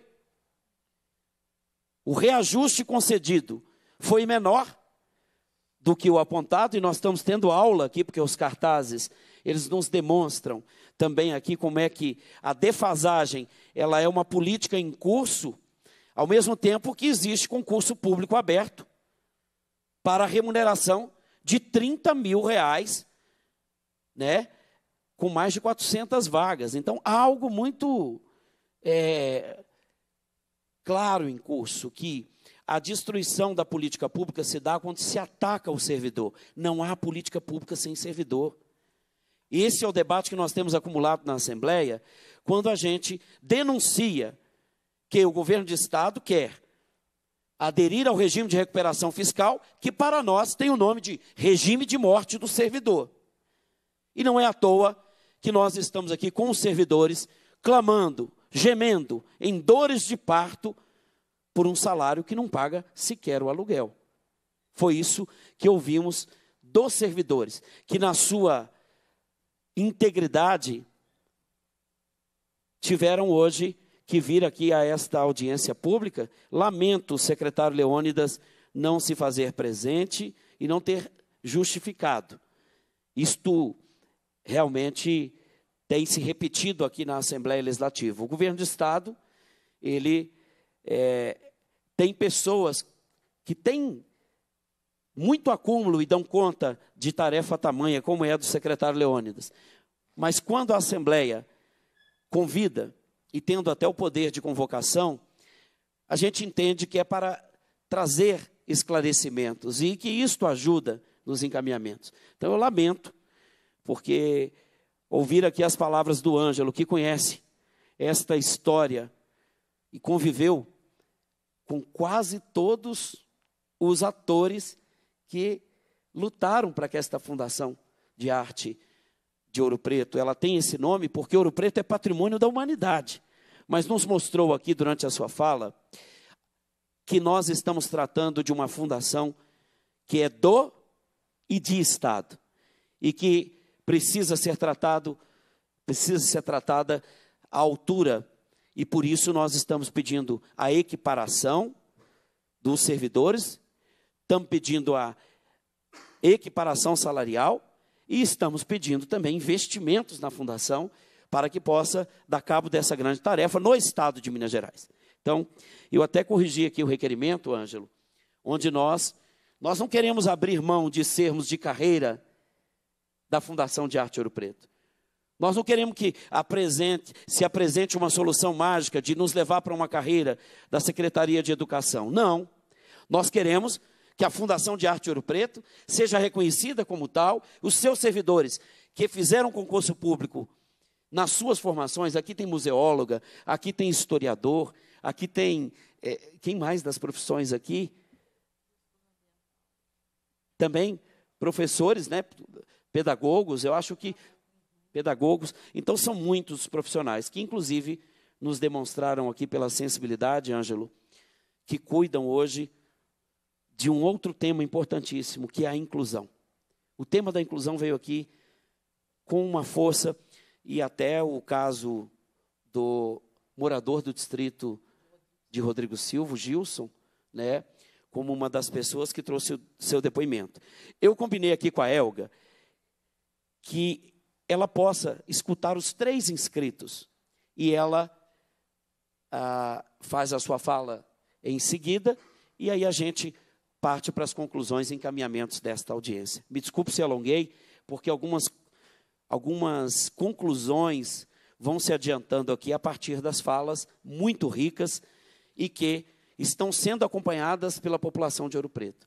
E lamento também que os alunos que tentaram se fazer presentes, por achar que esse tema também é importante, porque queriam vir fazer a defesa, hoje as aulas foram mantidas como uma proposta de desestimular a participação aqui na nossa audiência pública. É lamentável isto, porque isso depõe contra aquilo que nós entendemos ser o diálogo e a política. A política não deve ser criminalizada como um espaço onde nós buscamos no diálogo apresentar soluções para problemas como este que estão aqui colocados. Então, os alunos de Ouro Preto são os primeiros a defenderem a nossa fundação. Recorremos ao Instituto Federal de Ouro Preto, para que pudesse disponibilizar o transporte, numa parceria, porque também o Instituto Federal de Ouro Preto tem interesse é, neste tema. No entanto, nós tivemos um desestímulo, para não dizer e para não ser leviano, nós tivemos esta ação que, infelizmente, é, não permitiu a vinda dos alunos e de ouro-pretanos que lutam pela FAOP e também pela justiça que se faça em relação aos técnicos e aos professores da FAOP. Eu vou, com isso, é, agradecendo também ao Instituto Federal de Ouro Preto, aos alunos que vieram espontaneamente fazer essa defesa. E por isso eu vou convidar para a sua fala. Isto. É porque aqui, para efeito de gravação e da transmissão, a pessoa fala o seu nome para que a gente tenha ali é, identificada a, a, a, pessoa e também a sua fala. Eu vou convidar a Rosilene, a gente está pedindo um tempo de três minutos, mas, assim como fiz aqui com o Ângelo e com os demais, precisando da fala, é sua. Só para a gente combinar e não extrapolar demais aqui. Rosilene Braga é aluna da FAOP e também vai contribuir aqui é, temos ali também um micro... Fiquem à vontade de sentar aqui, mas este microfone talvez, aí a, as imagens também vão valorizar esses cartazes que vocês trouxeram. Bom dia a todos. Meu nome é Rosilene. Eu hoje faço o quarto período de conservação e restauro lá na FAOP. E eu quero, primeiramente, parabenizar os nossos professores que mesmo com esse salário né, pequeno, eles são pessoas que tratam os alunos com muito carinho, têm muita dedicação.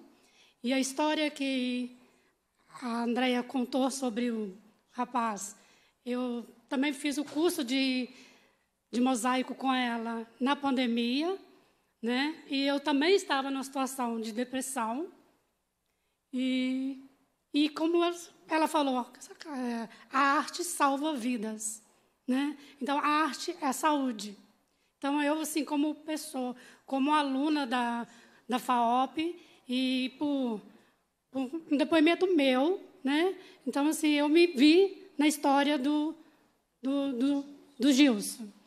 E, assim, eu tenho muito carinho pela Andréia, por, por ela nem saber disso, e ela foi uma pessoa que me incentivou muito no, durante as aulas, que foi online, e eu tinha muita dificuldade de fazer aula online, porque eu não eu me sentia analfabeta de computador na área de informática. Então eram as minhas meninas que me ajudavam e ela também do lado de lá também me dava um apoio. E hoje com isso eu estou fazendo hoje isso me incentivou a fazer o curso de conservação de conservação e restauro e ainda o curso de informática. Tenho muito orgulho disso, tá? De estar tá conseguindo fazer isso através da aula da Andréia e da arte. Né? E eu estou aqui para representar a turma. Não era eu que ia estar aqui falando, porque ia, ia ser a Helena, que ela já, né, mas ela, por motivos dela, ela não pôde vir aqui. E aí eu faço, vou ler a carta dela. Bom dia a todos e a todas. Agradeço por eu estar aqui. Fala dela. Meu nome é Helena, sou museóloga, formada pela UFOP, foi estagiária da FAOP e sou aluna do curso de formação em arte e curso em restauro da, da FAOP. Eu entrei na FAOP no segundo semestre em 2022 e logo no primeiro módulo do curso me deparei com a falta de professores.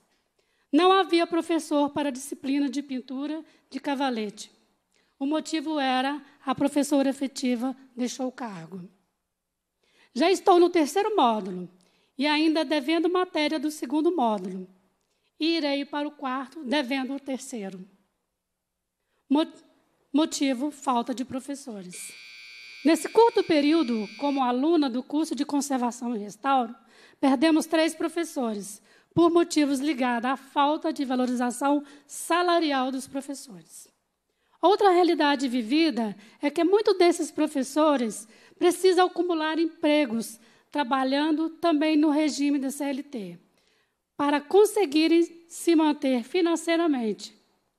Então, uma vez que há um cansaço físico e mental e havendo a necessidade ou o surgimento de uma outra oportunidade profissional, mesmo com cargo efetivo, a decisão mais sensata se toma, se toma é deixar o cargo. Me marcou muito a falta de uma professora que disse que tinha outro trabalho para se manter, porque somente as aulas da FAOP não davam. Quero ressaltar que a realidade desses profissionais vale além do técnico ensino de vale além, além do ensino técnico de conservação e restauro, muitos deles são responsáveis técnicos dentro das disciplinas pelas obras que os alunos irão restaurar peças de valor cultural e artístico oriundo de museus e comunidades, bibliotecas e escolas.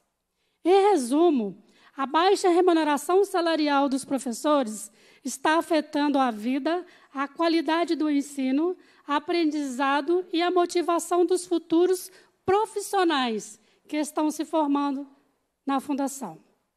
Isso, sem sombra, sem sombra de dúvida, gera desânimo e desconforto para aqueles que buscam essas formações, pois, além das questões inerentes à profissão do, do conservador e restaurador, como a falta de regulariza regularização profissional, o aluno também se depara com uma fundação que não valoriza os professores, os professores que nelas trabalham.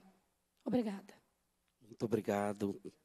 Esta carta é, ela interessa aqui à comissão, seria importante nós vamos solicitar uma visita desta comissão de cultura e eu farei questão de liderar esta comitiva à Fundação de Arte de Ouro Preto para averiguarmos a ausência de professores no quadro que compromete o custo de restauro e compromete o funcionamento né, desta importante escola que é obrigação do Estado. Então, a partir desta carta, a gente vai também aqui aprovar um requerimento. Agradeço a aluna Helena, né, museóloga, que não podendo vir, mandou essa carta e agradeço a você também que pôde aqui dar o seu testemunho. Nós temos a Ana Ceci Franco Mota, diretora de Planejamento, Gestão e Finanças da FAOP.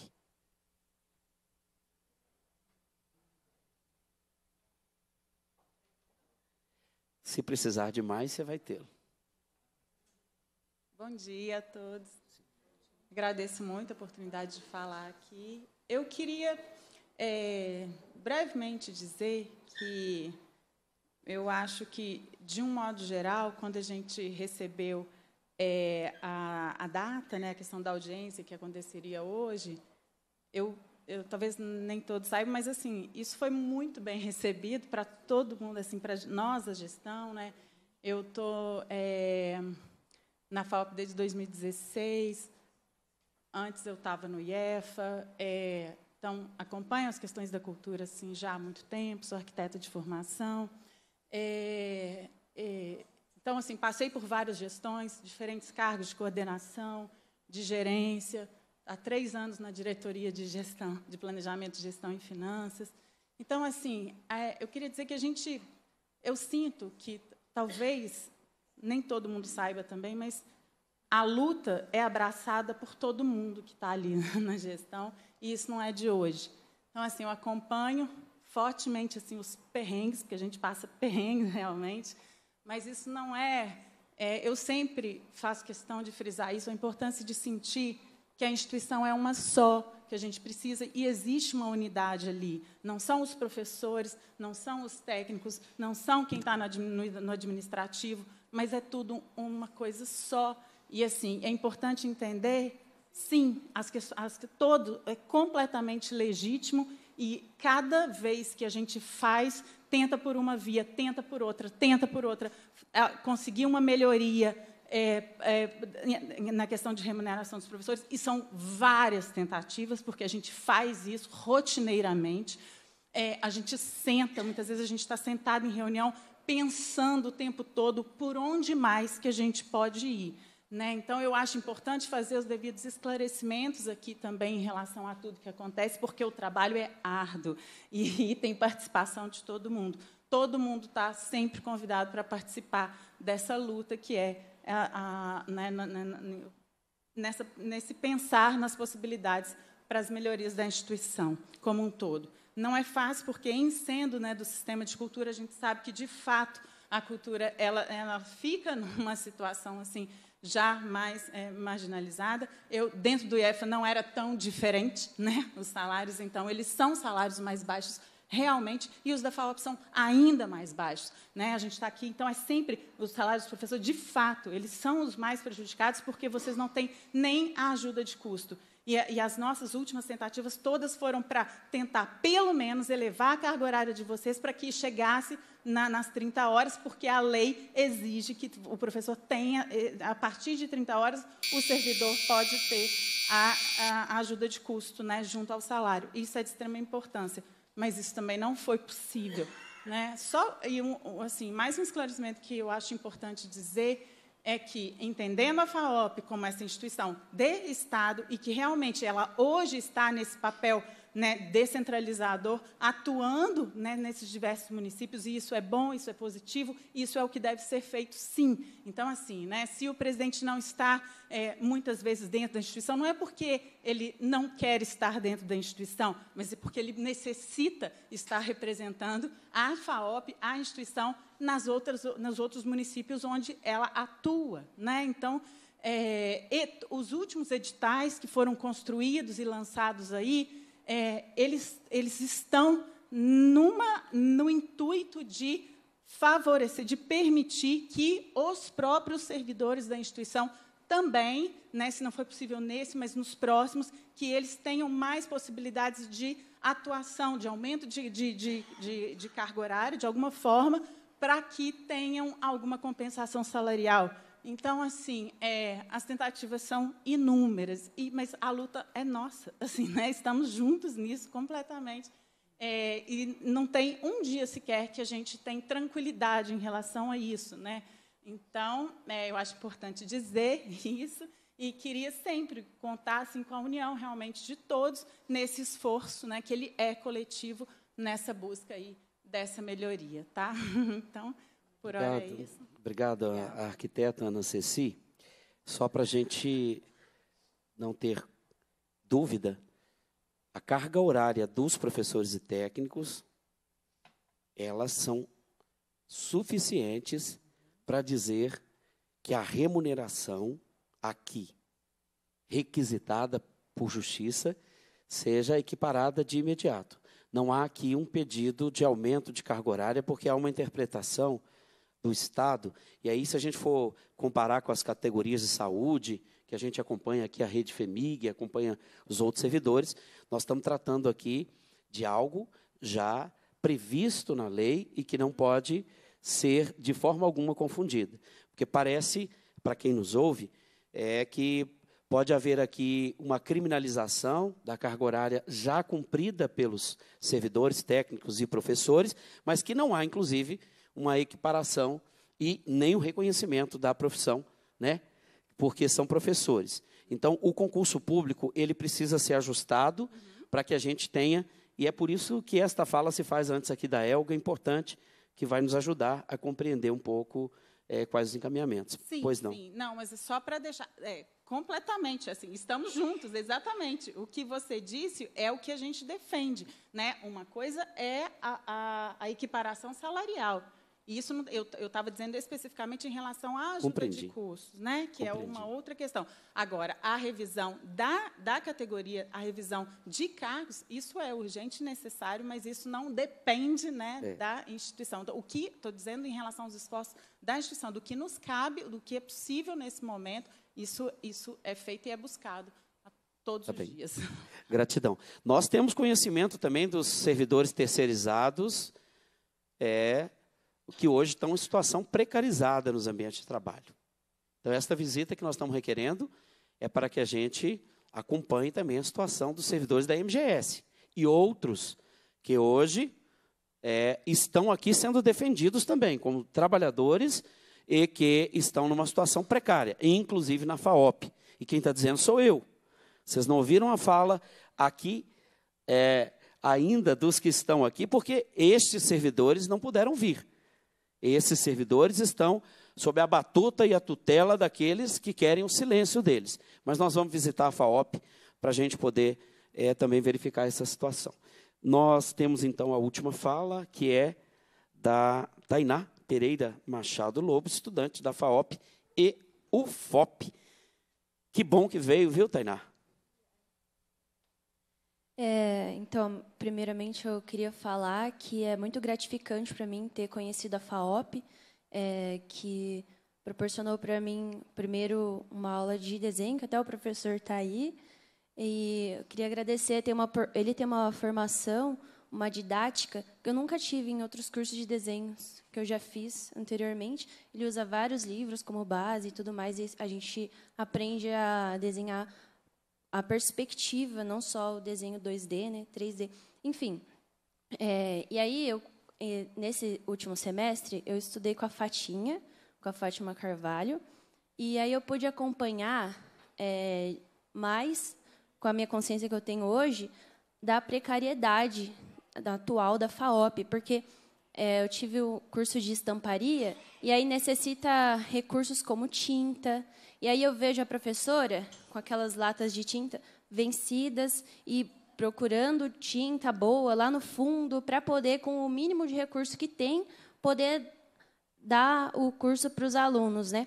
E, e, aí eu perguntei, professora, quanto que é uma lata de tinta? Ela falou assim, ah, ó, pesquisa aí, olhei, é 160 reais. Mas com o salário dela, ela não tem condição de comprar uma lata de tinta. Atualmente só tem vermelho e o preto da tinta gráfica. E não tem como comprar o branco, que também é muito utilizado. É, e aí, também eu queria falar que isso da carga horária, que o, que o presidente falou, né, de ser 20 horas, também não, não coincide com a realidade. Porque a gente vê lá os professores tampando o buraco de outros professores para poder atender os alunos. E também é, a FAOP é um grande braço da comunidade ouropretana, que, na verdade, é uma comunidade que atende o mundo, né? Uma comunidade global que tem visitas das pessoas de todos os países e que podem apreciar o barroco é, e a história do, de Ouro Preto, que compõe a história mundial, é, por meio da manutenção da estrutura, da arte, que da equipe, né, da FAOP, que pesa ali pela conservação e, e tudo mais, só que eles são invisibilizados, sendo que eles são um braço da comunidade e, e tanto na parte também é, real de quem mora em Ouro Preto, porque é, todas as tradições culturais que existem em Ouro Preto, por exemplo, é, os tapetes, que é algo em Ouro Preto que é muito valorizado, que vão pessoas de outros países para visitar os tapetes, uma grande parte desse trajeto também é feito pela FAOP. E, e, nesse último semestre, eu ajudei a professora Fatinha a fazer os moldes, os tapetes e fazer ali. E acompanhei a semana toda ela naquela correria. E no dia mesmo de montar os tapetes, é, no dia seguinte ela ficou até doente, porque ela ficou o dia inteiro ali fazendo os tapetes. Então, é, eu vejo que, na verdade, isso aí, quem cobrou dela foi a própria comunidade, porque a FAOB, por ter essa ligação com a comunidade, ela presta serviços ali e que não é remunerada. E isso também não é contado nas horas é, trabalhadas.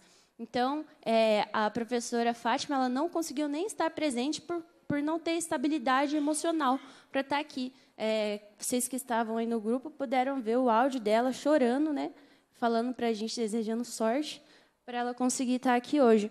É, sem falar também que o curso de arte ele promove uma formação de arte e formação de artistas que depois eles ganham a vida fazendo aquela arte. Por exemplo, tem o Tuca, que ele faz esculturas para outros países e ele é um aluno da FAOP. Muitos artistas que eu conheço de rua que ganham dinheiro é, para o seu sustento mensal, eles foram formados na FAOP. Então, se, a, se Ouro Preto ele tem é, muitos artistas, muita cultura, é, e isso é muito valorizado mundialmente, infelizmente a equipe que está por trás disso ela está sendo invisibilizada injustamente. É, e, e, é muito triste também a gente ver que hoje a gente está aqui compartilhando esse, é, essa importância nessa Assembleia com outra que está falando é, sobre impostos, que também é importante, mas que, é, majoritariamente, aqui nós estamos falando para nós mesmos sermos ouvidos. E que, é, ainda bem que o deputado está aqui, podendo registrar tudo isso, porque Senão, é, seria uma fala que a gente está aqui, a gente sabe as angústias que a gente vive, mas que isso não está sendo é, ouvido por, por grandes órgãos competentes que poderiam estar aqui, como estavam, por exemplo, no comecinho, né?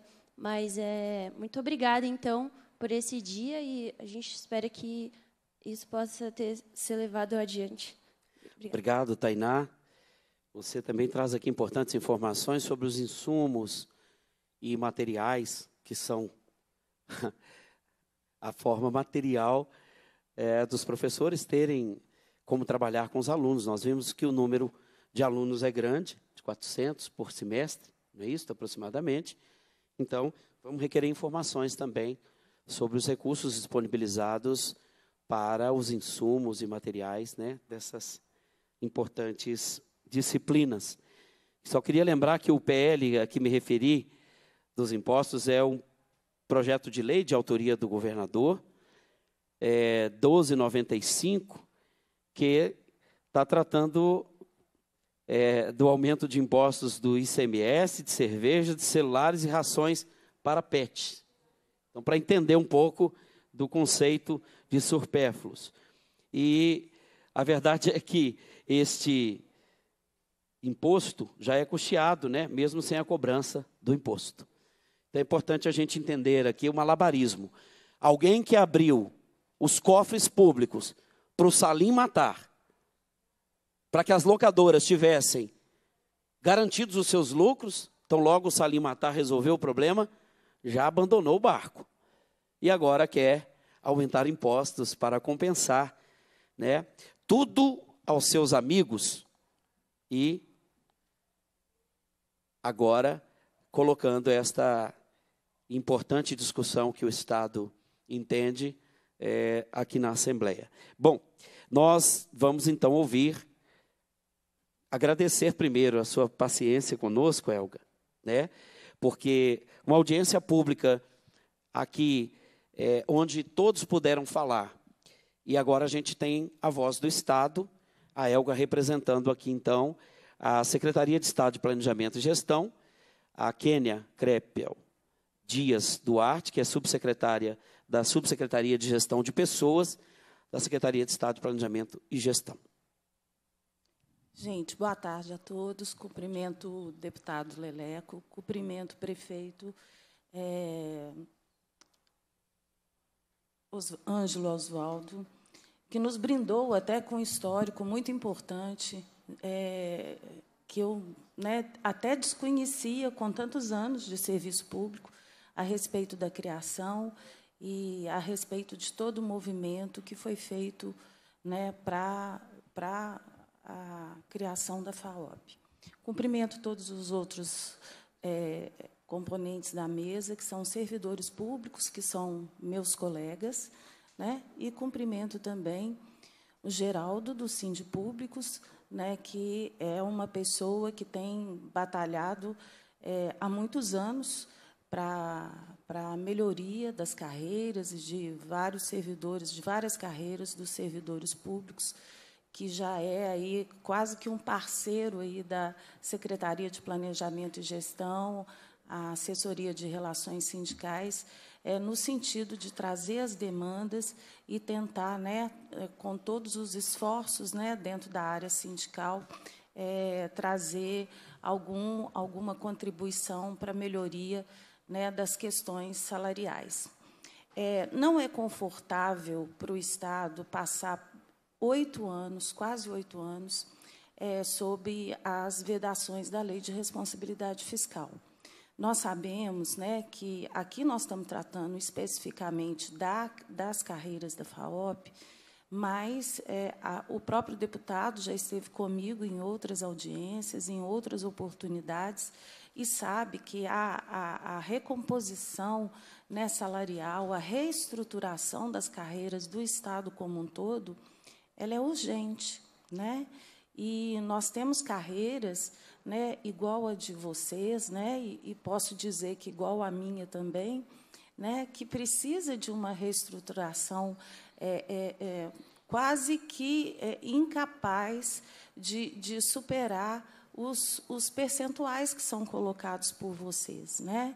Hoje, a própria lei de responsabilidade fiscal ela, nos, ela autoriza uma recomposição né, das perdas inflacionárias. E como disse né, o representante do Sind Públicos, essa demanda ela, ela é premente e o governo do Estado ainda não conseguiu é, fechar né, as, suas, as suas contas, o seu fluxo de caixa, para dar uma, uma para fazer esse suporte de fazer a recomposição das perdas inflacionárias do ano de 2022 é, como foi feito em 2021, né, que todos lembram daquele percentual de 10,06%. Então, isso ainda não, não foi possível, isso não está fechado ainda para esse ano. Né? É, um, um, outro agravante que a gente tem é justamente porque o último relatório né, da, da, da de quadrimestral da despesa de pessoal ela já, ele já apontou que nós estamos no limite máximo da lei de responsabilidade fiscal para fazer qualquer incremento, qualquer ampliação da despesa. Então, assim, é uma situação desconfortável, porque aqui é, nós não estamos julgando o mérito nem a importância né, da, do, do, trabalho, da atividade dos professores no município é, é, estado, no município do Estado, e como diz o prefeito Ângelo Oswaldo, um município internacional, né, onde nós, mineiros, temos tantos, tanto orgulho né, de, de, de pertencer ao Estado de Minas Gerais, principalmente por conta das suas cidades históricas e, e de todo o patrimônio que nós temos de ter visto, é, a gente pode até dizer, nascer, nascer aqui em Minas, todas né, as referências que a gente tem aí é, dentro do próprio país, né? muitas delas dentro do estado de Minas Gerais. Né? Então, essa não é a questão, nós não estamos aqui discutindo o mérito. Então, assim, uma das, das, das possibilidades né, que nós já é, iniciamos lá dentro da CEPLAG é justamente a possibilidade da realização de concurso público, né? tentando fazer uma construção, um acerto junto à Advocacia Geral do Estado, para que a gente possa, né, de uma forma é, é, é, mais efetiva, é, trabalhar com servidores efetivos e recompor essa força de trabalho dentro dos limites das vagas que a gente já tem, de acordo com a lei de criação da própria FAOP. Né? E outro ponto que foi colocado aqui foi em relação à insalubridade. E em 2019 nós tivemos várias reuniões e, e, essa demanda foi trazida e a Superintendência Central de Perícia Médica e Saúde Ocupacional, né, que é responsável por isso, ela fez visitas técnicas à FAOP para poder fazer as comprovações e para iniciar os trabalhos lá com os engenheiros e médicos do trabalho, né? É, esse trabalho ele foi interrompido, infelizmente, pela pandemia, onde é, nós tivemos aí uma situação urgente, imediata, inesperada, aonde esses trabalhos eles foram interrompidos.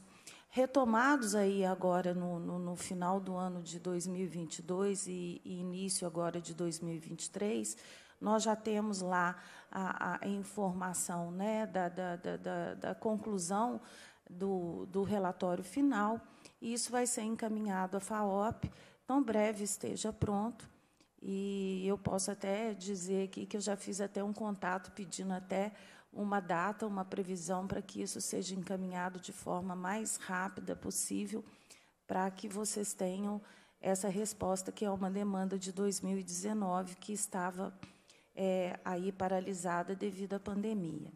Uma outra questão aqui importante, né, que eu acho que é o cerne aqui da nossa das demandas, que é a questão da equiparação à questão da educação, novamente, né, o, o Estado se, se deparou com uma situação onde nós temos a lei do piso nacional, né, da carreira, né, de, de, de, da educação. Essa lei ela foi editada anterior a setembro de 2015, então nós não estávamos ainda sobre as vedações da Lei de Responsabilidade Fiscal. E aí a própria lei complementar 101, ela define que toda legislação que tiver né, o lastro, o embasamento, o suporte anterior à entrada do Estado é, aos limites da lei de responsabilidade fiscal, ela, ela deve obrigatoriamente ela deve ser cumprida. Então, o Estado tem atualizado, ano a ano, o piso né, da educação, dentro do entendimento que ele tem em relação à proporcionalidade de carga horária. Portanto, né, esse ano, o governo encaminhou né, o projeto de lei que foi aprovado, referente a 12,84%, que beneficiou as carreiras que estão estabelecidas nessa lei. Então, é, é, nós temos essa, essa, essa demanda gigante que, de novo, a gente pode. É, não há juízo de mérito aqui, mas ontem mesmo nós tivemos até uma reunião com a Comissão de, de Ciência, Tecnologia e Educação, aonde recebemos professores do ensino superior, né, tamanha é, a, a, necessidade de reestruturação de carreiras e de salários do Estado, onde os professores de ensino superior também demandaram né, essa equiparação e fizeram essa comparação com os professores que trabalham, que atuam na rede de educação. Então, deputado, eu acho importante, né, esses, eu até fiz uma lista aqui, tentei é, organizar os requerimentos, tanto do, do, do, do deputado professor Cleiton, como os seus aqui, para que vocês realmente tenham esses esclarecimentos técnicos e, a partir disso, que a gente possa pensar soluções em conjunto para que a gente tenha é, a legalidade e dentro dos limites né, e, e da, da, própria legislação, que a gente busque aí alternativas para a gente é, solucionar e apontar caminhos não só para a FAOP, mas apontar caminhos também para os outros órgãos vinculados à Secretaria de Cultura, como a Fundação Clóvis Salgado, né? e, e inclusive os outros, os outros, as outras carreiras que de uma forma ou de outra têm essa caracterização de formação é, de, de função do magistério, né? Eu acho muito importante a presença da Tainá, que está aqui como aluna, que ela vem trazer aí uma realidade, um, um outro lado da história que talvez, é, por mais que os gestores se aproximem e, e nós, servidores públicos, estemos, este, né, estejamos assim imbuídos de, de, de prestar o serviço público, a gente ter esse testemunho é muito importante para a gente entender até onde a gente consegue impactar a sociedade, até onde que a gente está chegando. Então, assim, de novo, eu gostaria de forma bem transparente falar para vocês que essa situação não é confortável. E não é confortável, a meu ver, para qualquer governo que esteja já há oito anos com essas limitações e que ainda precisa, né, e que tem como missão prestar o serviço público de qualidade. Então, é, é, é, é não dá nem para comentar os testemunhos que vocês trouxeram, a realidade que vocês trouxeram, a indignação, né, a, a questão mesmo da, da baixa remuneração, porque é uma situação que o Estado tem se deparado com isso e a gente tem todo dia tentado achar uma alternativa. É, eu me coloco né, à disposição lá na CEPLAG como assessoria de relações sindicais. Hoje eu estou aqui representando a subsecretária de gestão de pessoas. Em vários momentos, o sindicato e a própria equipe da FAOP, que até uma vez estabeleceu uma comissão de, de, de, de conversa, de negociação, de interlocução, mas eu preciso ser muito franca com vocês em relação às limitações que a gente tem aqui. Então, essa questão de, de repente, a gente ter a possibilidade de realizar um concurso público já é um passo que a gente está caminhando em relação à valorização do grupo e da força de trabalho da FAOP. E nós estamos à disposição e, com certeza, é, teremos muito cuidado de responder cada requerimento, deputado, entendendo que tem algumas questões aqui que devem, né, que, que são prioritariamente de, de, de, de, atribuição da Secretaria de Cultura, outras da própria Secretaria de Educação, né, no que diz respeito ao trabalho, né, ao apoio é, em relação a trilhas do futuro, e a parte de carreira e de, de, de avanço em algumas alternativas, ela realmente fica lá vinculada à CEPLAG. Eu peço a Ana Ceci, né, junto com a Gabriela, que se elas puderem reforçar esse pedido né, institucional em relação ao concurso público, mesmo que seja é, é, um ofício direcionado tanto para a secretaria, para o secretário de Cultura, assim como para a secretária de Planejamento e Gestão, é que eu né, me comprometo a seguir esse protocolo para a gente poder fazer os encaminhamentos para ver se a gente tem uma resposta mais ágil. Tá? Muito obrigada. Elga, eu eu estou vendo que sua fala suscitou aqui muitas dúvidas. A gente está aqui também com algumas pessoas já no limite do horário, mas nós não podemos deixar de tratar. Eu estou aqui com três ofícios. Todos três se referem ao limite né, da Lei de Responsabilidade Fiscal, da Lei Complementar Federal 173 de 2020, cuja vigência era até o final do ano de 2021. Todos três ofícios da CEPLAC, da, né, da secretária de Gestão e Pessoas, a Kênia. Eu acredito que os servidores que aqui estão não podem sair daqui sem a gente entender o que foi dito. O que nós estamos procurando aqui é que a secretaria, que a CEPLAG, que a sua representação aqui é muito importante, nos aponte o caminho. Porque, veja, nós vamos sair daqui constatando este crime.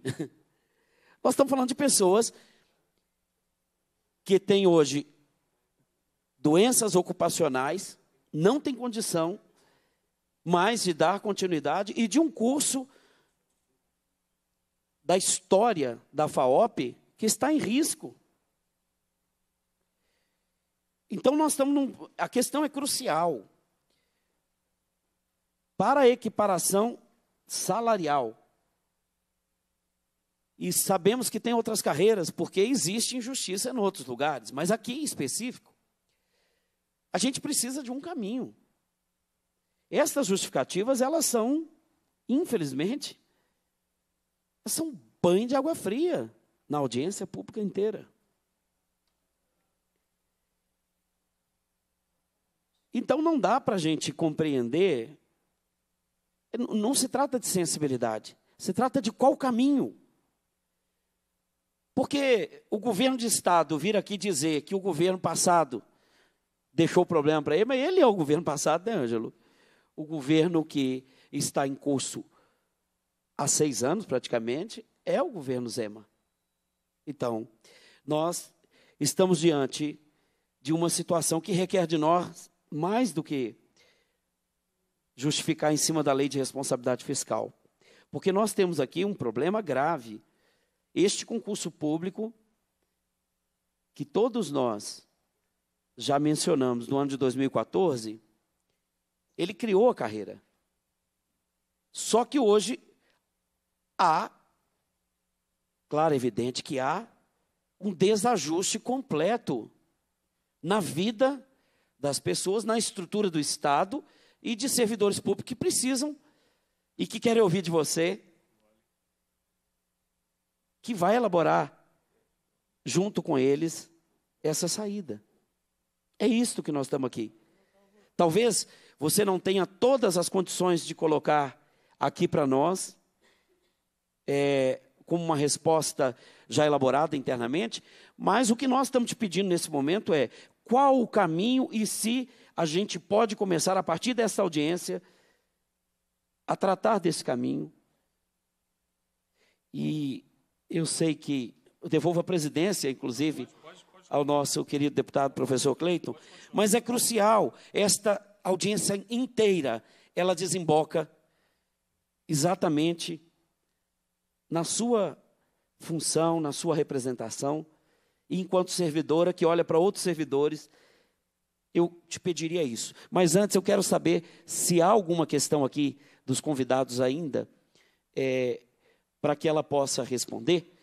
E aí eu vou pedir agora que o prazo seja curto, porque se são questões de esclarecimento ou perguntas, que a gente faça entre um e dois minutos. Tá bem? Pode. Presidente, é, primeiro me desculpar pela ausência aqui. Eu estava representando o bloco da qual tanto eu quanto o deputado Leleco Pimentel fazemos parte na fiscalização financeira orçamentária, que é um, uma comissão aqui de extrema importância. Estávamos debatendo um projeto que o nosso querido prefeito Ângelo Oswaldo definiu muito bem, é, que eu não posso reproduzir aqui no microfone. É, sobretudo porque diz respeito à questão de aumento dos impostos. Mas o que eu queria pedir, é, deputado Leleco Pimentel, é que a Elga, que é uma servidora de carreira, levasse para a CEPLAG é, essa nossa proposta, é, essa, essa provocação que nós fizemos de uma possível mudança de gestão de secretarias em relação à FAOP. É, primeiro, que nós teríamos aí, é, e aí a GE precisa analisar, a Controladoria Geral do Estado, a possibilidade é, de aplicar recursos advindos do Fundeb. Só para vocês terem ideia, o ano passado, é, querido prefeito Ângelo Oswaldo, o, o Estado não conseguiu gastar mais de 2 bi do Fundeb, é, que deveria ser utilizado como rateio entre os servidores, e aí se utilizou de outra forma. Tem um outro detalhe. Eu não ouvi a fala da Elga, mas eu já sei o que é, é, ela trouxe, porque esse tem sido recorrente, recorrente o discurso da CEPLAG, que é a questão da lei de responsabilidade fiscal.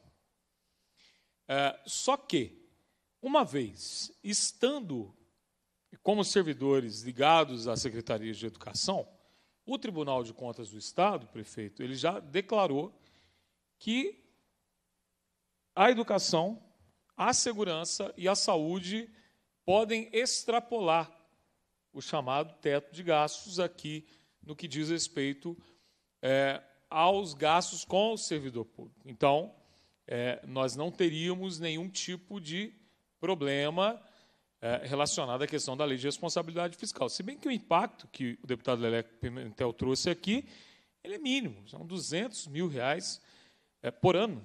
Por ano. Por ano. É, esse é o, o montante.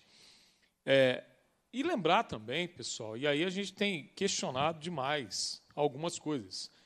Por que, quando se fala de lei de responsabilidade fiscal, sobretudo no que diz respeito a determinados gastos, é, se faz nesse governo uma contabilidade hercúlea para tentar é, atingir esse teto numa forma de atingir também os requisitos básicos e legais para que o Estado possa aderir ao fatídico, trágico regime de recuperação fiscal. Por exemplo, quando nós falamos dos 25% da educação, há uma manobra contábil, deputado Leque Pimentel, de se colocar os servidores inativos da educação nessa conta, o que é ilegal. E o Tribunal de Contas já disse isso algumas vezes. Outra coisa, por que, que a lei de responsabilidade fiscal vale para determinados setores, determinadas autarquias e não vale para outros? Nós estamos aí com um concurso que foi aberto e já foi feito todo o processo para a contratação de 400 auditores fiscais para a Secretaria da Fazenda, cujo salário é em média de 30 mil reais. É 27 mil de salário, mais 3 mil de auxílio alimentação.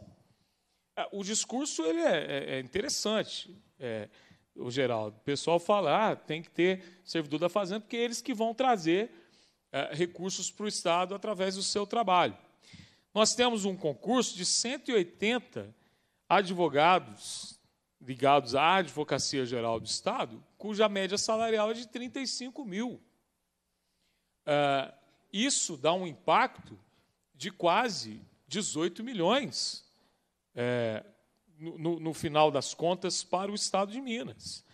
Então, é, é, a Elga, que é uma servidora de carreira, que tem história aqui de serviços prestados ao ao Estado e não ao governo, ela não está representando aqui esse governo, representando o Estado, é, como servidora de carreira, que possa é, levar esse encaminhamento que nós fizemos e fazer essa análise, prefeito, da possibilidade da FAOP ter uma gestão ligada à Secretaria de Educação, que é o que acontece hoje com os 12, repito, conservatórios estaduais de música.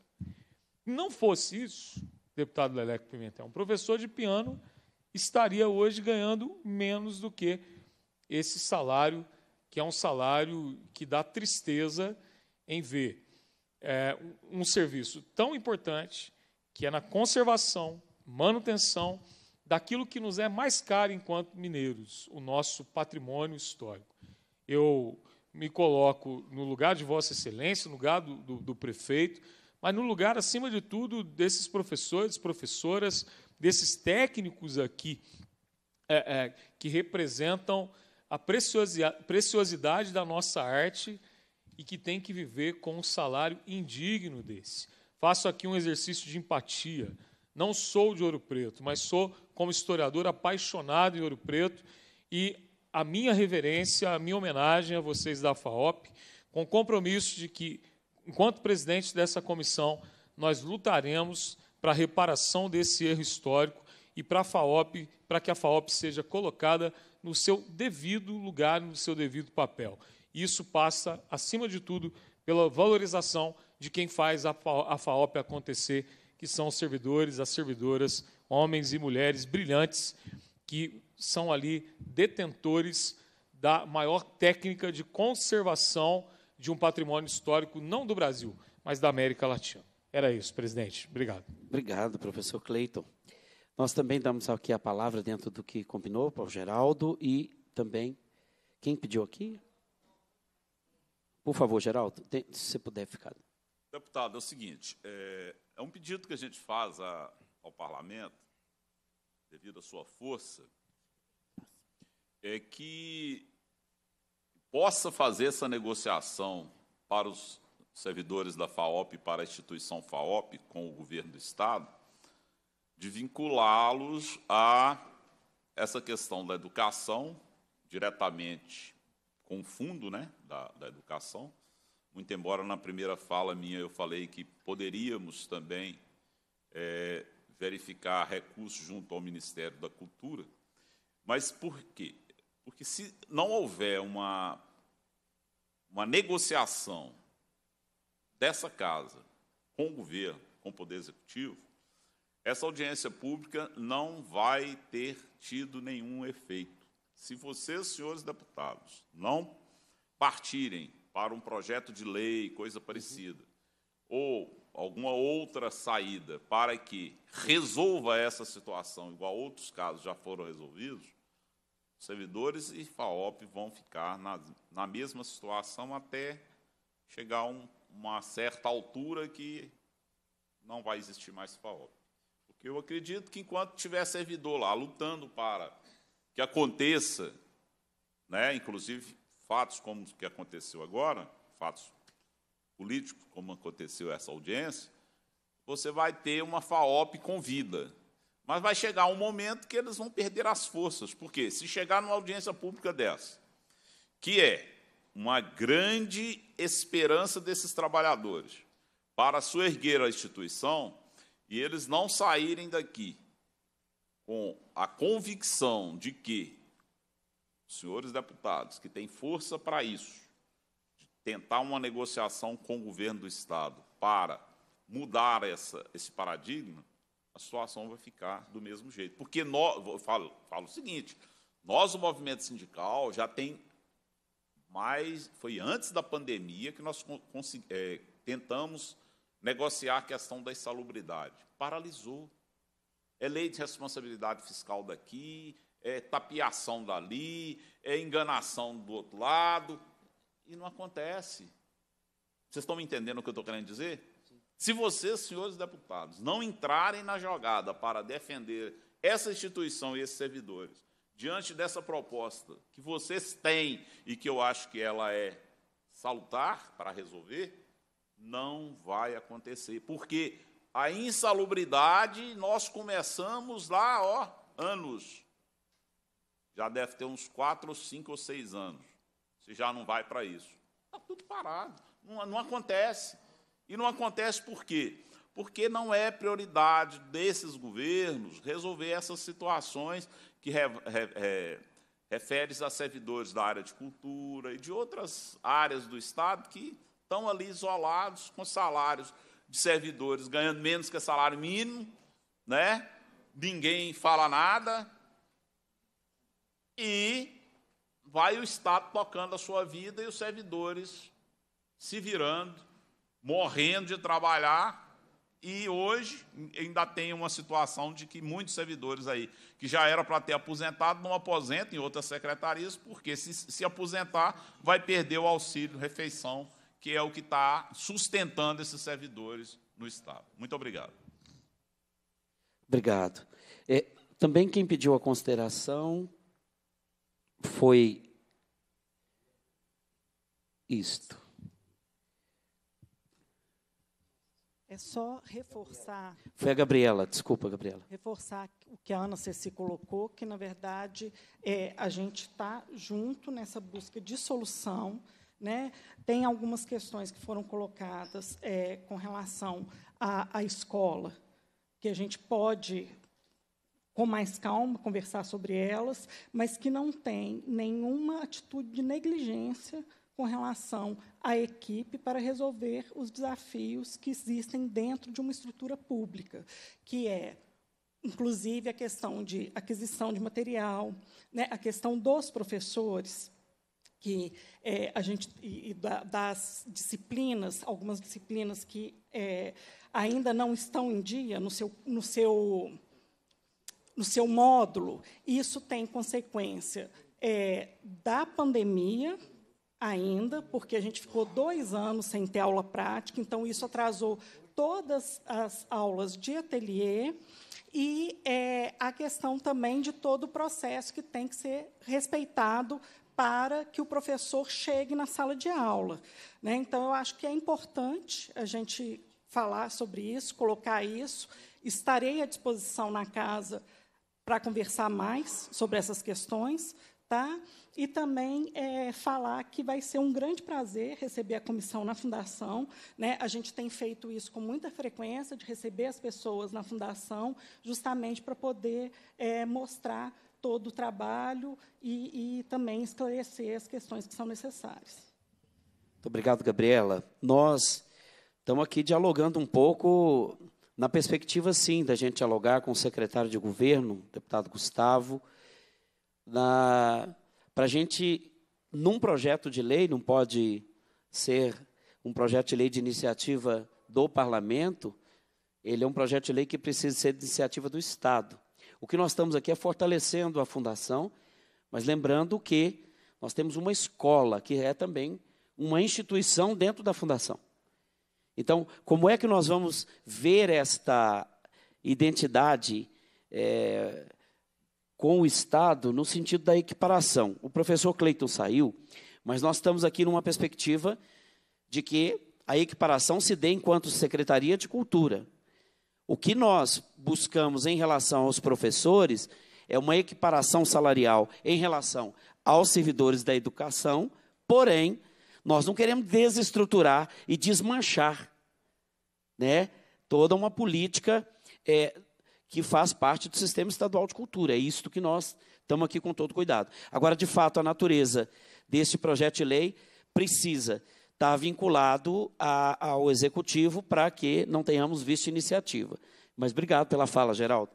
Nós vamos devolver a palavra para a Elga, porque assim a gente, com a fala dela, é, desculpa, o prefeito Ângelo também, ele quer aqui fazer as considerações. Eu agradeço, deputado presidente Leleco, pela oportunidade de falar.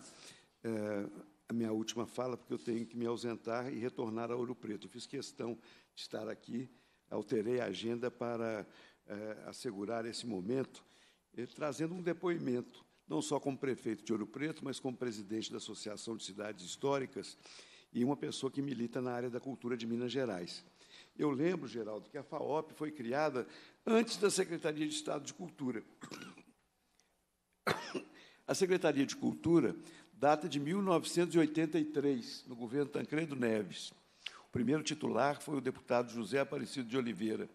E a FAOP foi criada em 1968, é, instalada em 69, e ela era vinculada à Secretaria de Governo, porque os órgãos da cultura, até a criação da Secretaria de Estado de Cultura, eram vinculados à Secretaria de Governo, e antes da Secretaria de Governo, à Casa Civil, o que é uma coisa até medieval, né? porque é, é o, o, suzerano é que, que dá dinheiro para os trovadores. Então, a cultura ficava ligada a, diretamente ao, ao, gabinete do governador.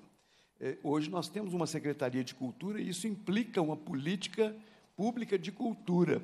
Eu tenho receio de que, se a FAOP fosse para a Secretaria da Educação, ela virasse um estranho no ninho e fosse mais massacrada ainda do que nunca, porque se ela está na cultura, onde tudo é muito pouco e tem visibilidade maior, naquele universo da Secretaria de Cultura, de, de Educação, ela, ela seria esmagada. É, eu, eu, até confesso aqui que, quando, é, no final da minha gestão de secretário de Cultura do Estado, em 2018, eu fui procurado pela secretária de Educação convidada pelo governo eleito, ainda não empossado, o governo Zema, por sugestão do vice-governador Paulo Brant, que é um amigo. E ela me perguntou o que, que eu achava de, ter a Secretaria de Educação e Cultura do Estado.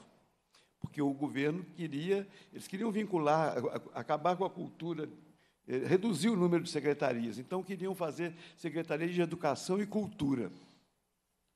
Eu, eu, eu disse para ela que era o maior erro que ela ia cometer. Porque se ela já, se ela já teria aí um, milhares de professores e professoras protestando contra ela, que seguramente iam fazer isso, ela ia ter uma meia dúzia de artistas, mas que iam gritar mais alto. Porque a área da cultura é mais ruidosa. Quando o ex-deputado Delfim Ribeiro, que já faleceu, foi secretário de Cultura do Estado no governo Hélio Garcia, fizeram um enterro dele na Praça, na Praça da Liberdade. E ele ficou impactado com aquilo, porque um Pedro Paulo Carva andava com um caixão pela volta toda da praça, é, enterrando o então secretário Delfim Ribeiro. É, eu acho que a, a, o lugar da, da, cultura é na cultura. O lugar da FAOP é na Secretaria de Estado de Cultura e Turismo hoje. Mas, para isso, ela tem que ter um lugar digno. E é, essa é a, é a luta. Eu, eu, creio que, que pode Imagina um, um acréscimo de 200 mil reais no orçamento é, da, da, Fundação de Arte de Ouro Preto, é uma coisa que pode ser contemplado pela Secretaria de Estado de Planejamento e uma revisão até dos demais organismos. O atual governo, ele reduziu demais a área da cultura, ele enxugou, ele mingou a área da cultura. Onde está o superintendente de bibliotecas públicas do Estado? Superintendente de arquivo, de arquivos do Estado? É, o superintendente de museus do Estado, virou tudo uma diretoria só. Então, o governo fez economia com a cultura, minguando, enxugando, quase que sufocando o setor de cultura. É importante que o governo que fez isso, ele também tenha agora a, a dignidade de pensar se ele fez isso no mandato passado, é culpa do governo passado como o Leleco colocou aqui, agora no, no, atual mandato ele tem que corrigir o erro do governo passado. Ele, o governador Zema sempre fala dos erros do governo passado. O governo passado agora é o dele. Então ele tem que, que no presente governo, é, corrigir os erros do governo passado, sim. E um desses erros é esse enxugamento brutal que teve na Secretaria de Estado de Cultura e Turismo, porque a secretária de Educação não aceitou a cultura, então eles uniram cultura e turismo, que, que em princípio até funciona, muito mais do que se fosse educação e cultura. Cultura e turismo pode funcionar muito bem, mas tem que haver esse respeito. Houve um enxugamento, nós perdemos os pontos de direção. Hoje é, é, é muito difícil tramitar qualquer coisa no setor de cultura, porque ele está todo asfixiado. Mas há um secretário muito ativo, que é o secretário Leônidas, eu reconheço isso, e ele tem capacidade política, sobretudo, para articular esse resgate que nós estamos pedindo, começando pela Fundação de Arte de Ouro Preto, como uma entidade estadual do campo da cultura, voltada, entre outras coisas, porque não é só isso, a FAOP tem uma, uma série de, de atribuições, mas, principalmente, ela tem esse curso de restauração dentro da Escola de Arte Rodrigo Melo Franco de Andrade, que é um curso praticamente único no Brasil. Nós temos a, Eva Zaldívar, que é restauradora hoje atuante em Ouro Preto, ela veio do Paraguai estudar na FAOP e ficou morando em Ouro Preto, já, já voltou para o Paraguai, retornou a Ouro Preto, mas ela veio para Ouro Preto para estudar na FAOP. Então, não só no, no, no, do Brasil, mas até do exterior, vêm pessoas atraídas pela importância desse curso e ele deve ser reconhecido como tal, porque ele representa muito para a cultura de Minas Gerais. E, e, como prefeito, então, e presidente da associação, eu deixo aqui essa palavra de solidariedade a todos e todas que estão envolvidos na FAOP, ah, na, expectativa de que os bons encaminhamentos feitos pela Assembleia Legislativa eh, possam alcançar, especialmente da Secretaria de Planejamento, em sintonia com a Secretaria de Cultura e Turismo, essa resposta pela qual todos nós ansiamos. Obrigado ao prefeito Ângelo Oswaldo, se fez presente em solidariedade, não só com o histórico e a sabedoria que acumula, mas aqui em especial com a situação dos servidores, os técnicos com salário de R$ 1.200, os professores com salário de R$ 1.455. Nós estamos aqui é, acumulando também outras questões. Nós entramos com um projeto de lei número 1364 de 2023, que declara como patrimônio histórico e cultural de natureza material e imaterial do Estado de Minas Gerais a Fundação de Arte Ouro Preto, criada em 1969, localizada no município de Ouro Preto. Eu vou passar esse projeto de lei, inclusive, à mão dos servidores que estão aqui presentes, onde a gente cria também aqui alguns mecanismos e já vamos buscando para um projeto de lei que reconheça não só a equiparação salarial, mas que mantenha a estrutura da cultura para que os servidores deem vida longa, aliás, continuem a vida daqueles que se dedicaram e não estão mais aqui, mas que são honrados na memória e na luta dos que se fazem presentes. Devolvo a palavra à nossa representante da secretária, da subsecretaria de gestão de pessoas, Secretaria de Estado de Planejamento e Gestão, a Elga Beatriz, que representa o Estado, e também a secretária Kênia. Ei, pessoal, eu gostaria de, de, dar os últimos esclarecimentos aqui e fazer as considerações finais. É, primeiramente, deputado, esses ofícios que estão aí na sua mão são, são respostas a requerimentos que foram é, realizados em 2019, 20 e 21. Então, toda a legislação que está descrita nos documentos, ela acompanhou o contexto da época, por isso que ainda existe legislação aí que diz respeito né, à pandemia, à Covid-19. Né? Hoje, se fôssemos responder esse documento atualizado, a, a, a única legislação que nós teríamos é, fundamentada em relação ao último relatório que foi publicado seria né, a Lei Complementar é, 101, que é da Lei de Responsabilidade Fiscal. Né, emendando né, essa, essa colocação, é importante esclarecer que a lei não faz diferença do, do aumento de despesa de um real para um milhão. Então, assim, a gente se depara com, com a, a demanda de, de, de, ampliação de despesa, né, como foi colocado, 200 mil, e nós temos outros valores que a gente recebe, mas a lei não faz a distinção. Então, apesar né, de representar, né, a princípio, representar um valor pequeno em relação ao orçamento do Estado, o impedimento ele ainda permanece. E, finalmente, né, também respondendo ao deputado e, e, e, ao próprio sindicato, é dizer que, desde, desde de, né, que de 2019, que é a data mais recente que a gente tem aí, é, embora eu já tenha, já tenha trabalhado né, na assessoria de relações sindicais né, em governos anteriores, né, e, e recebendo várias outras demandas, é, o trabalho ele é árduo, ele é duro e ele é muito sério. O trabalho dos técnicos ele é muito sério e a gente tenta é, estabelecer com, muito, com muita clareza e com muita transparência quais são as limitações que a gente tem dentro de cada momento, justamente porque nós precisamos estabelecer uma relação de confiança com os servidores, com as entidades sindicais, associações, justamente porque né, entendemos que o governo tem que fazer, tem que se comprometer com aquilo que ele pode cumprir.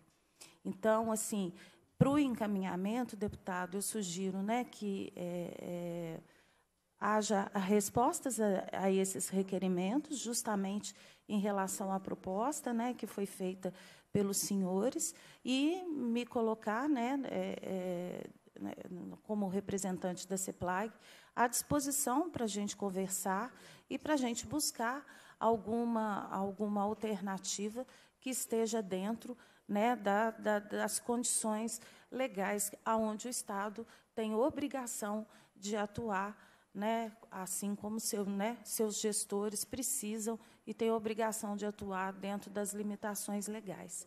Né? Agradeço a oportunidade de estar aqui trazendo um pouco de esclarecimento, embora né, é, é, geralmente as respostas não são é satisfatória no nível da ansiedade, da necessidade que é, perpassa as categorias todas do Estado, mas é, gostaria de reafirmar esse trabalho sério e comprometido para que a gente é, busque uma alternativa em conjunto. Tá? E, para isso, nós estamos lá à disposição e agradeço aí a oportunidade de conversar com vocês.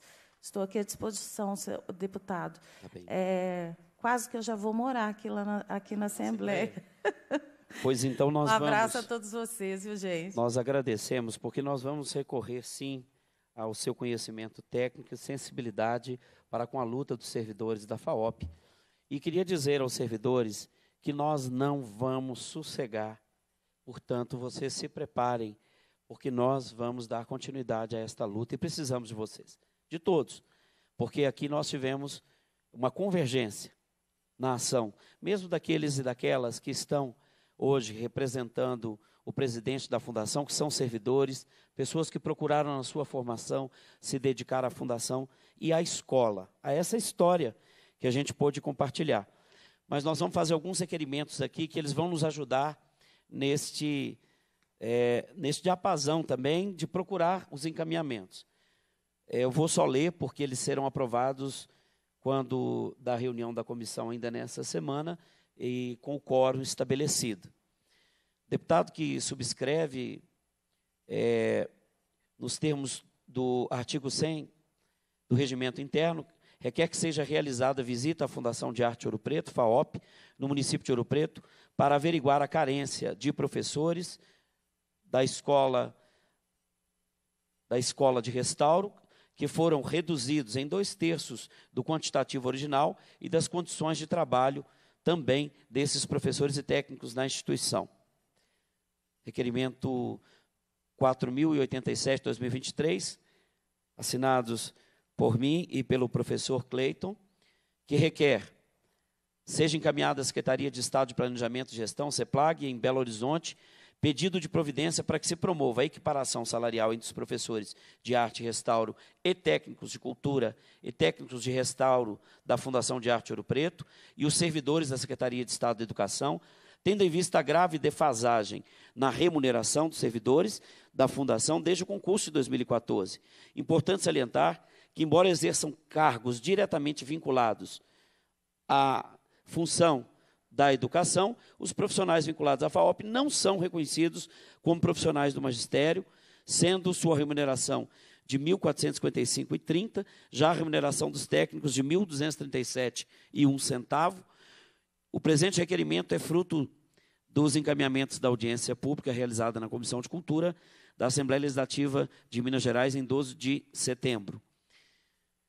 Requerimento 4072, também assinados pelo professor Cleiton e por mim.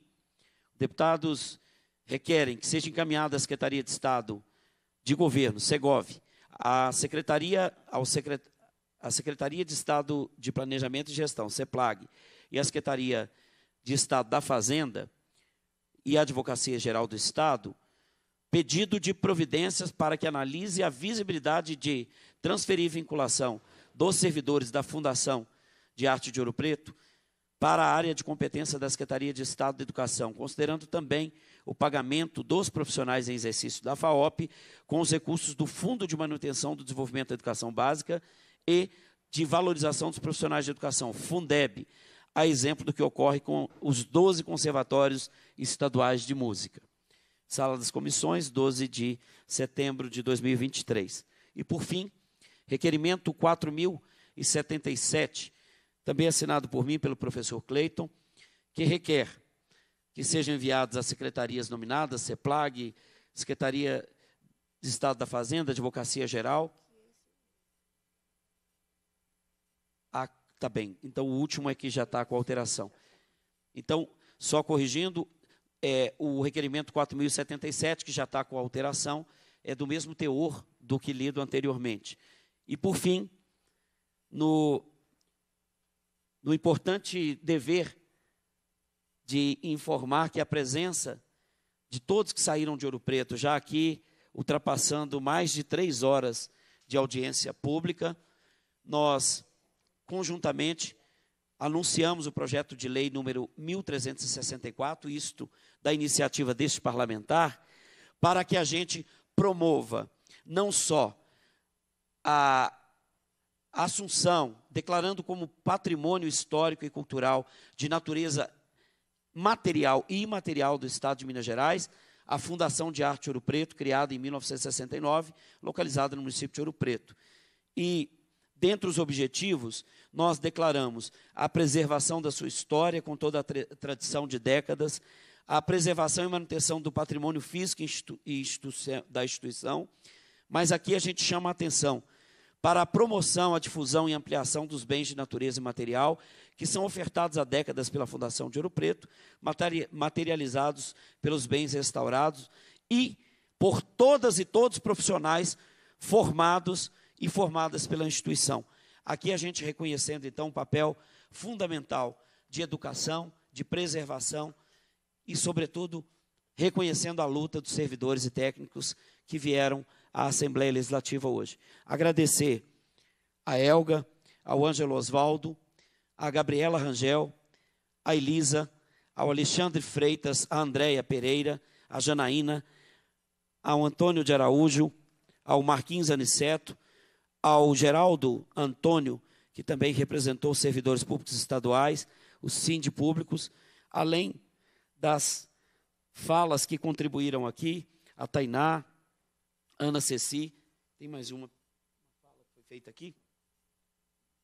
Da Roselene, que leu também a carta da aluna Helena.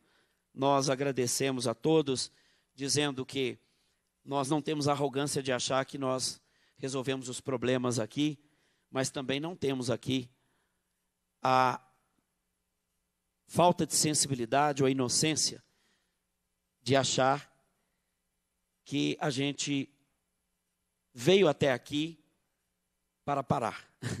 nós não vamos parar.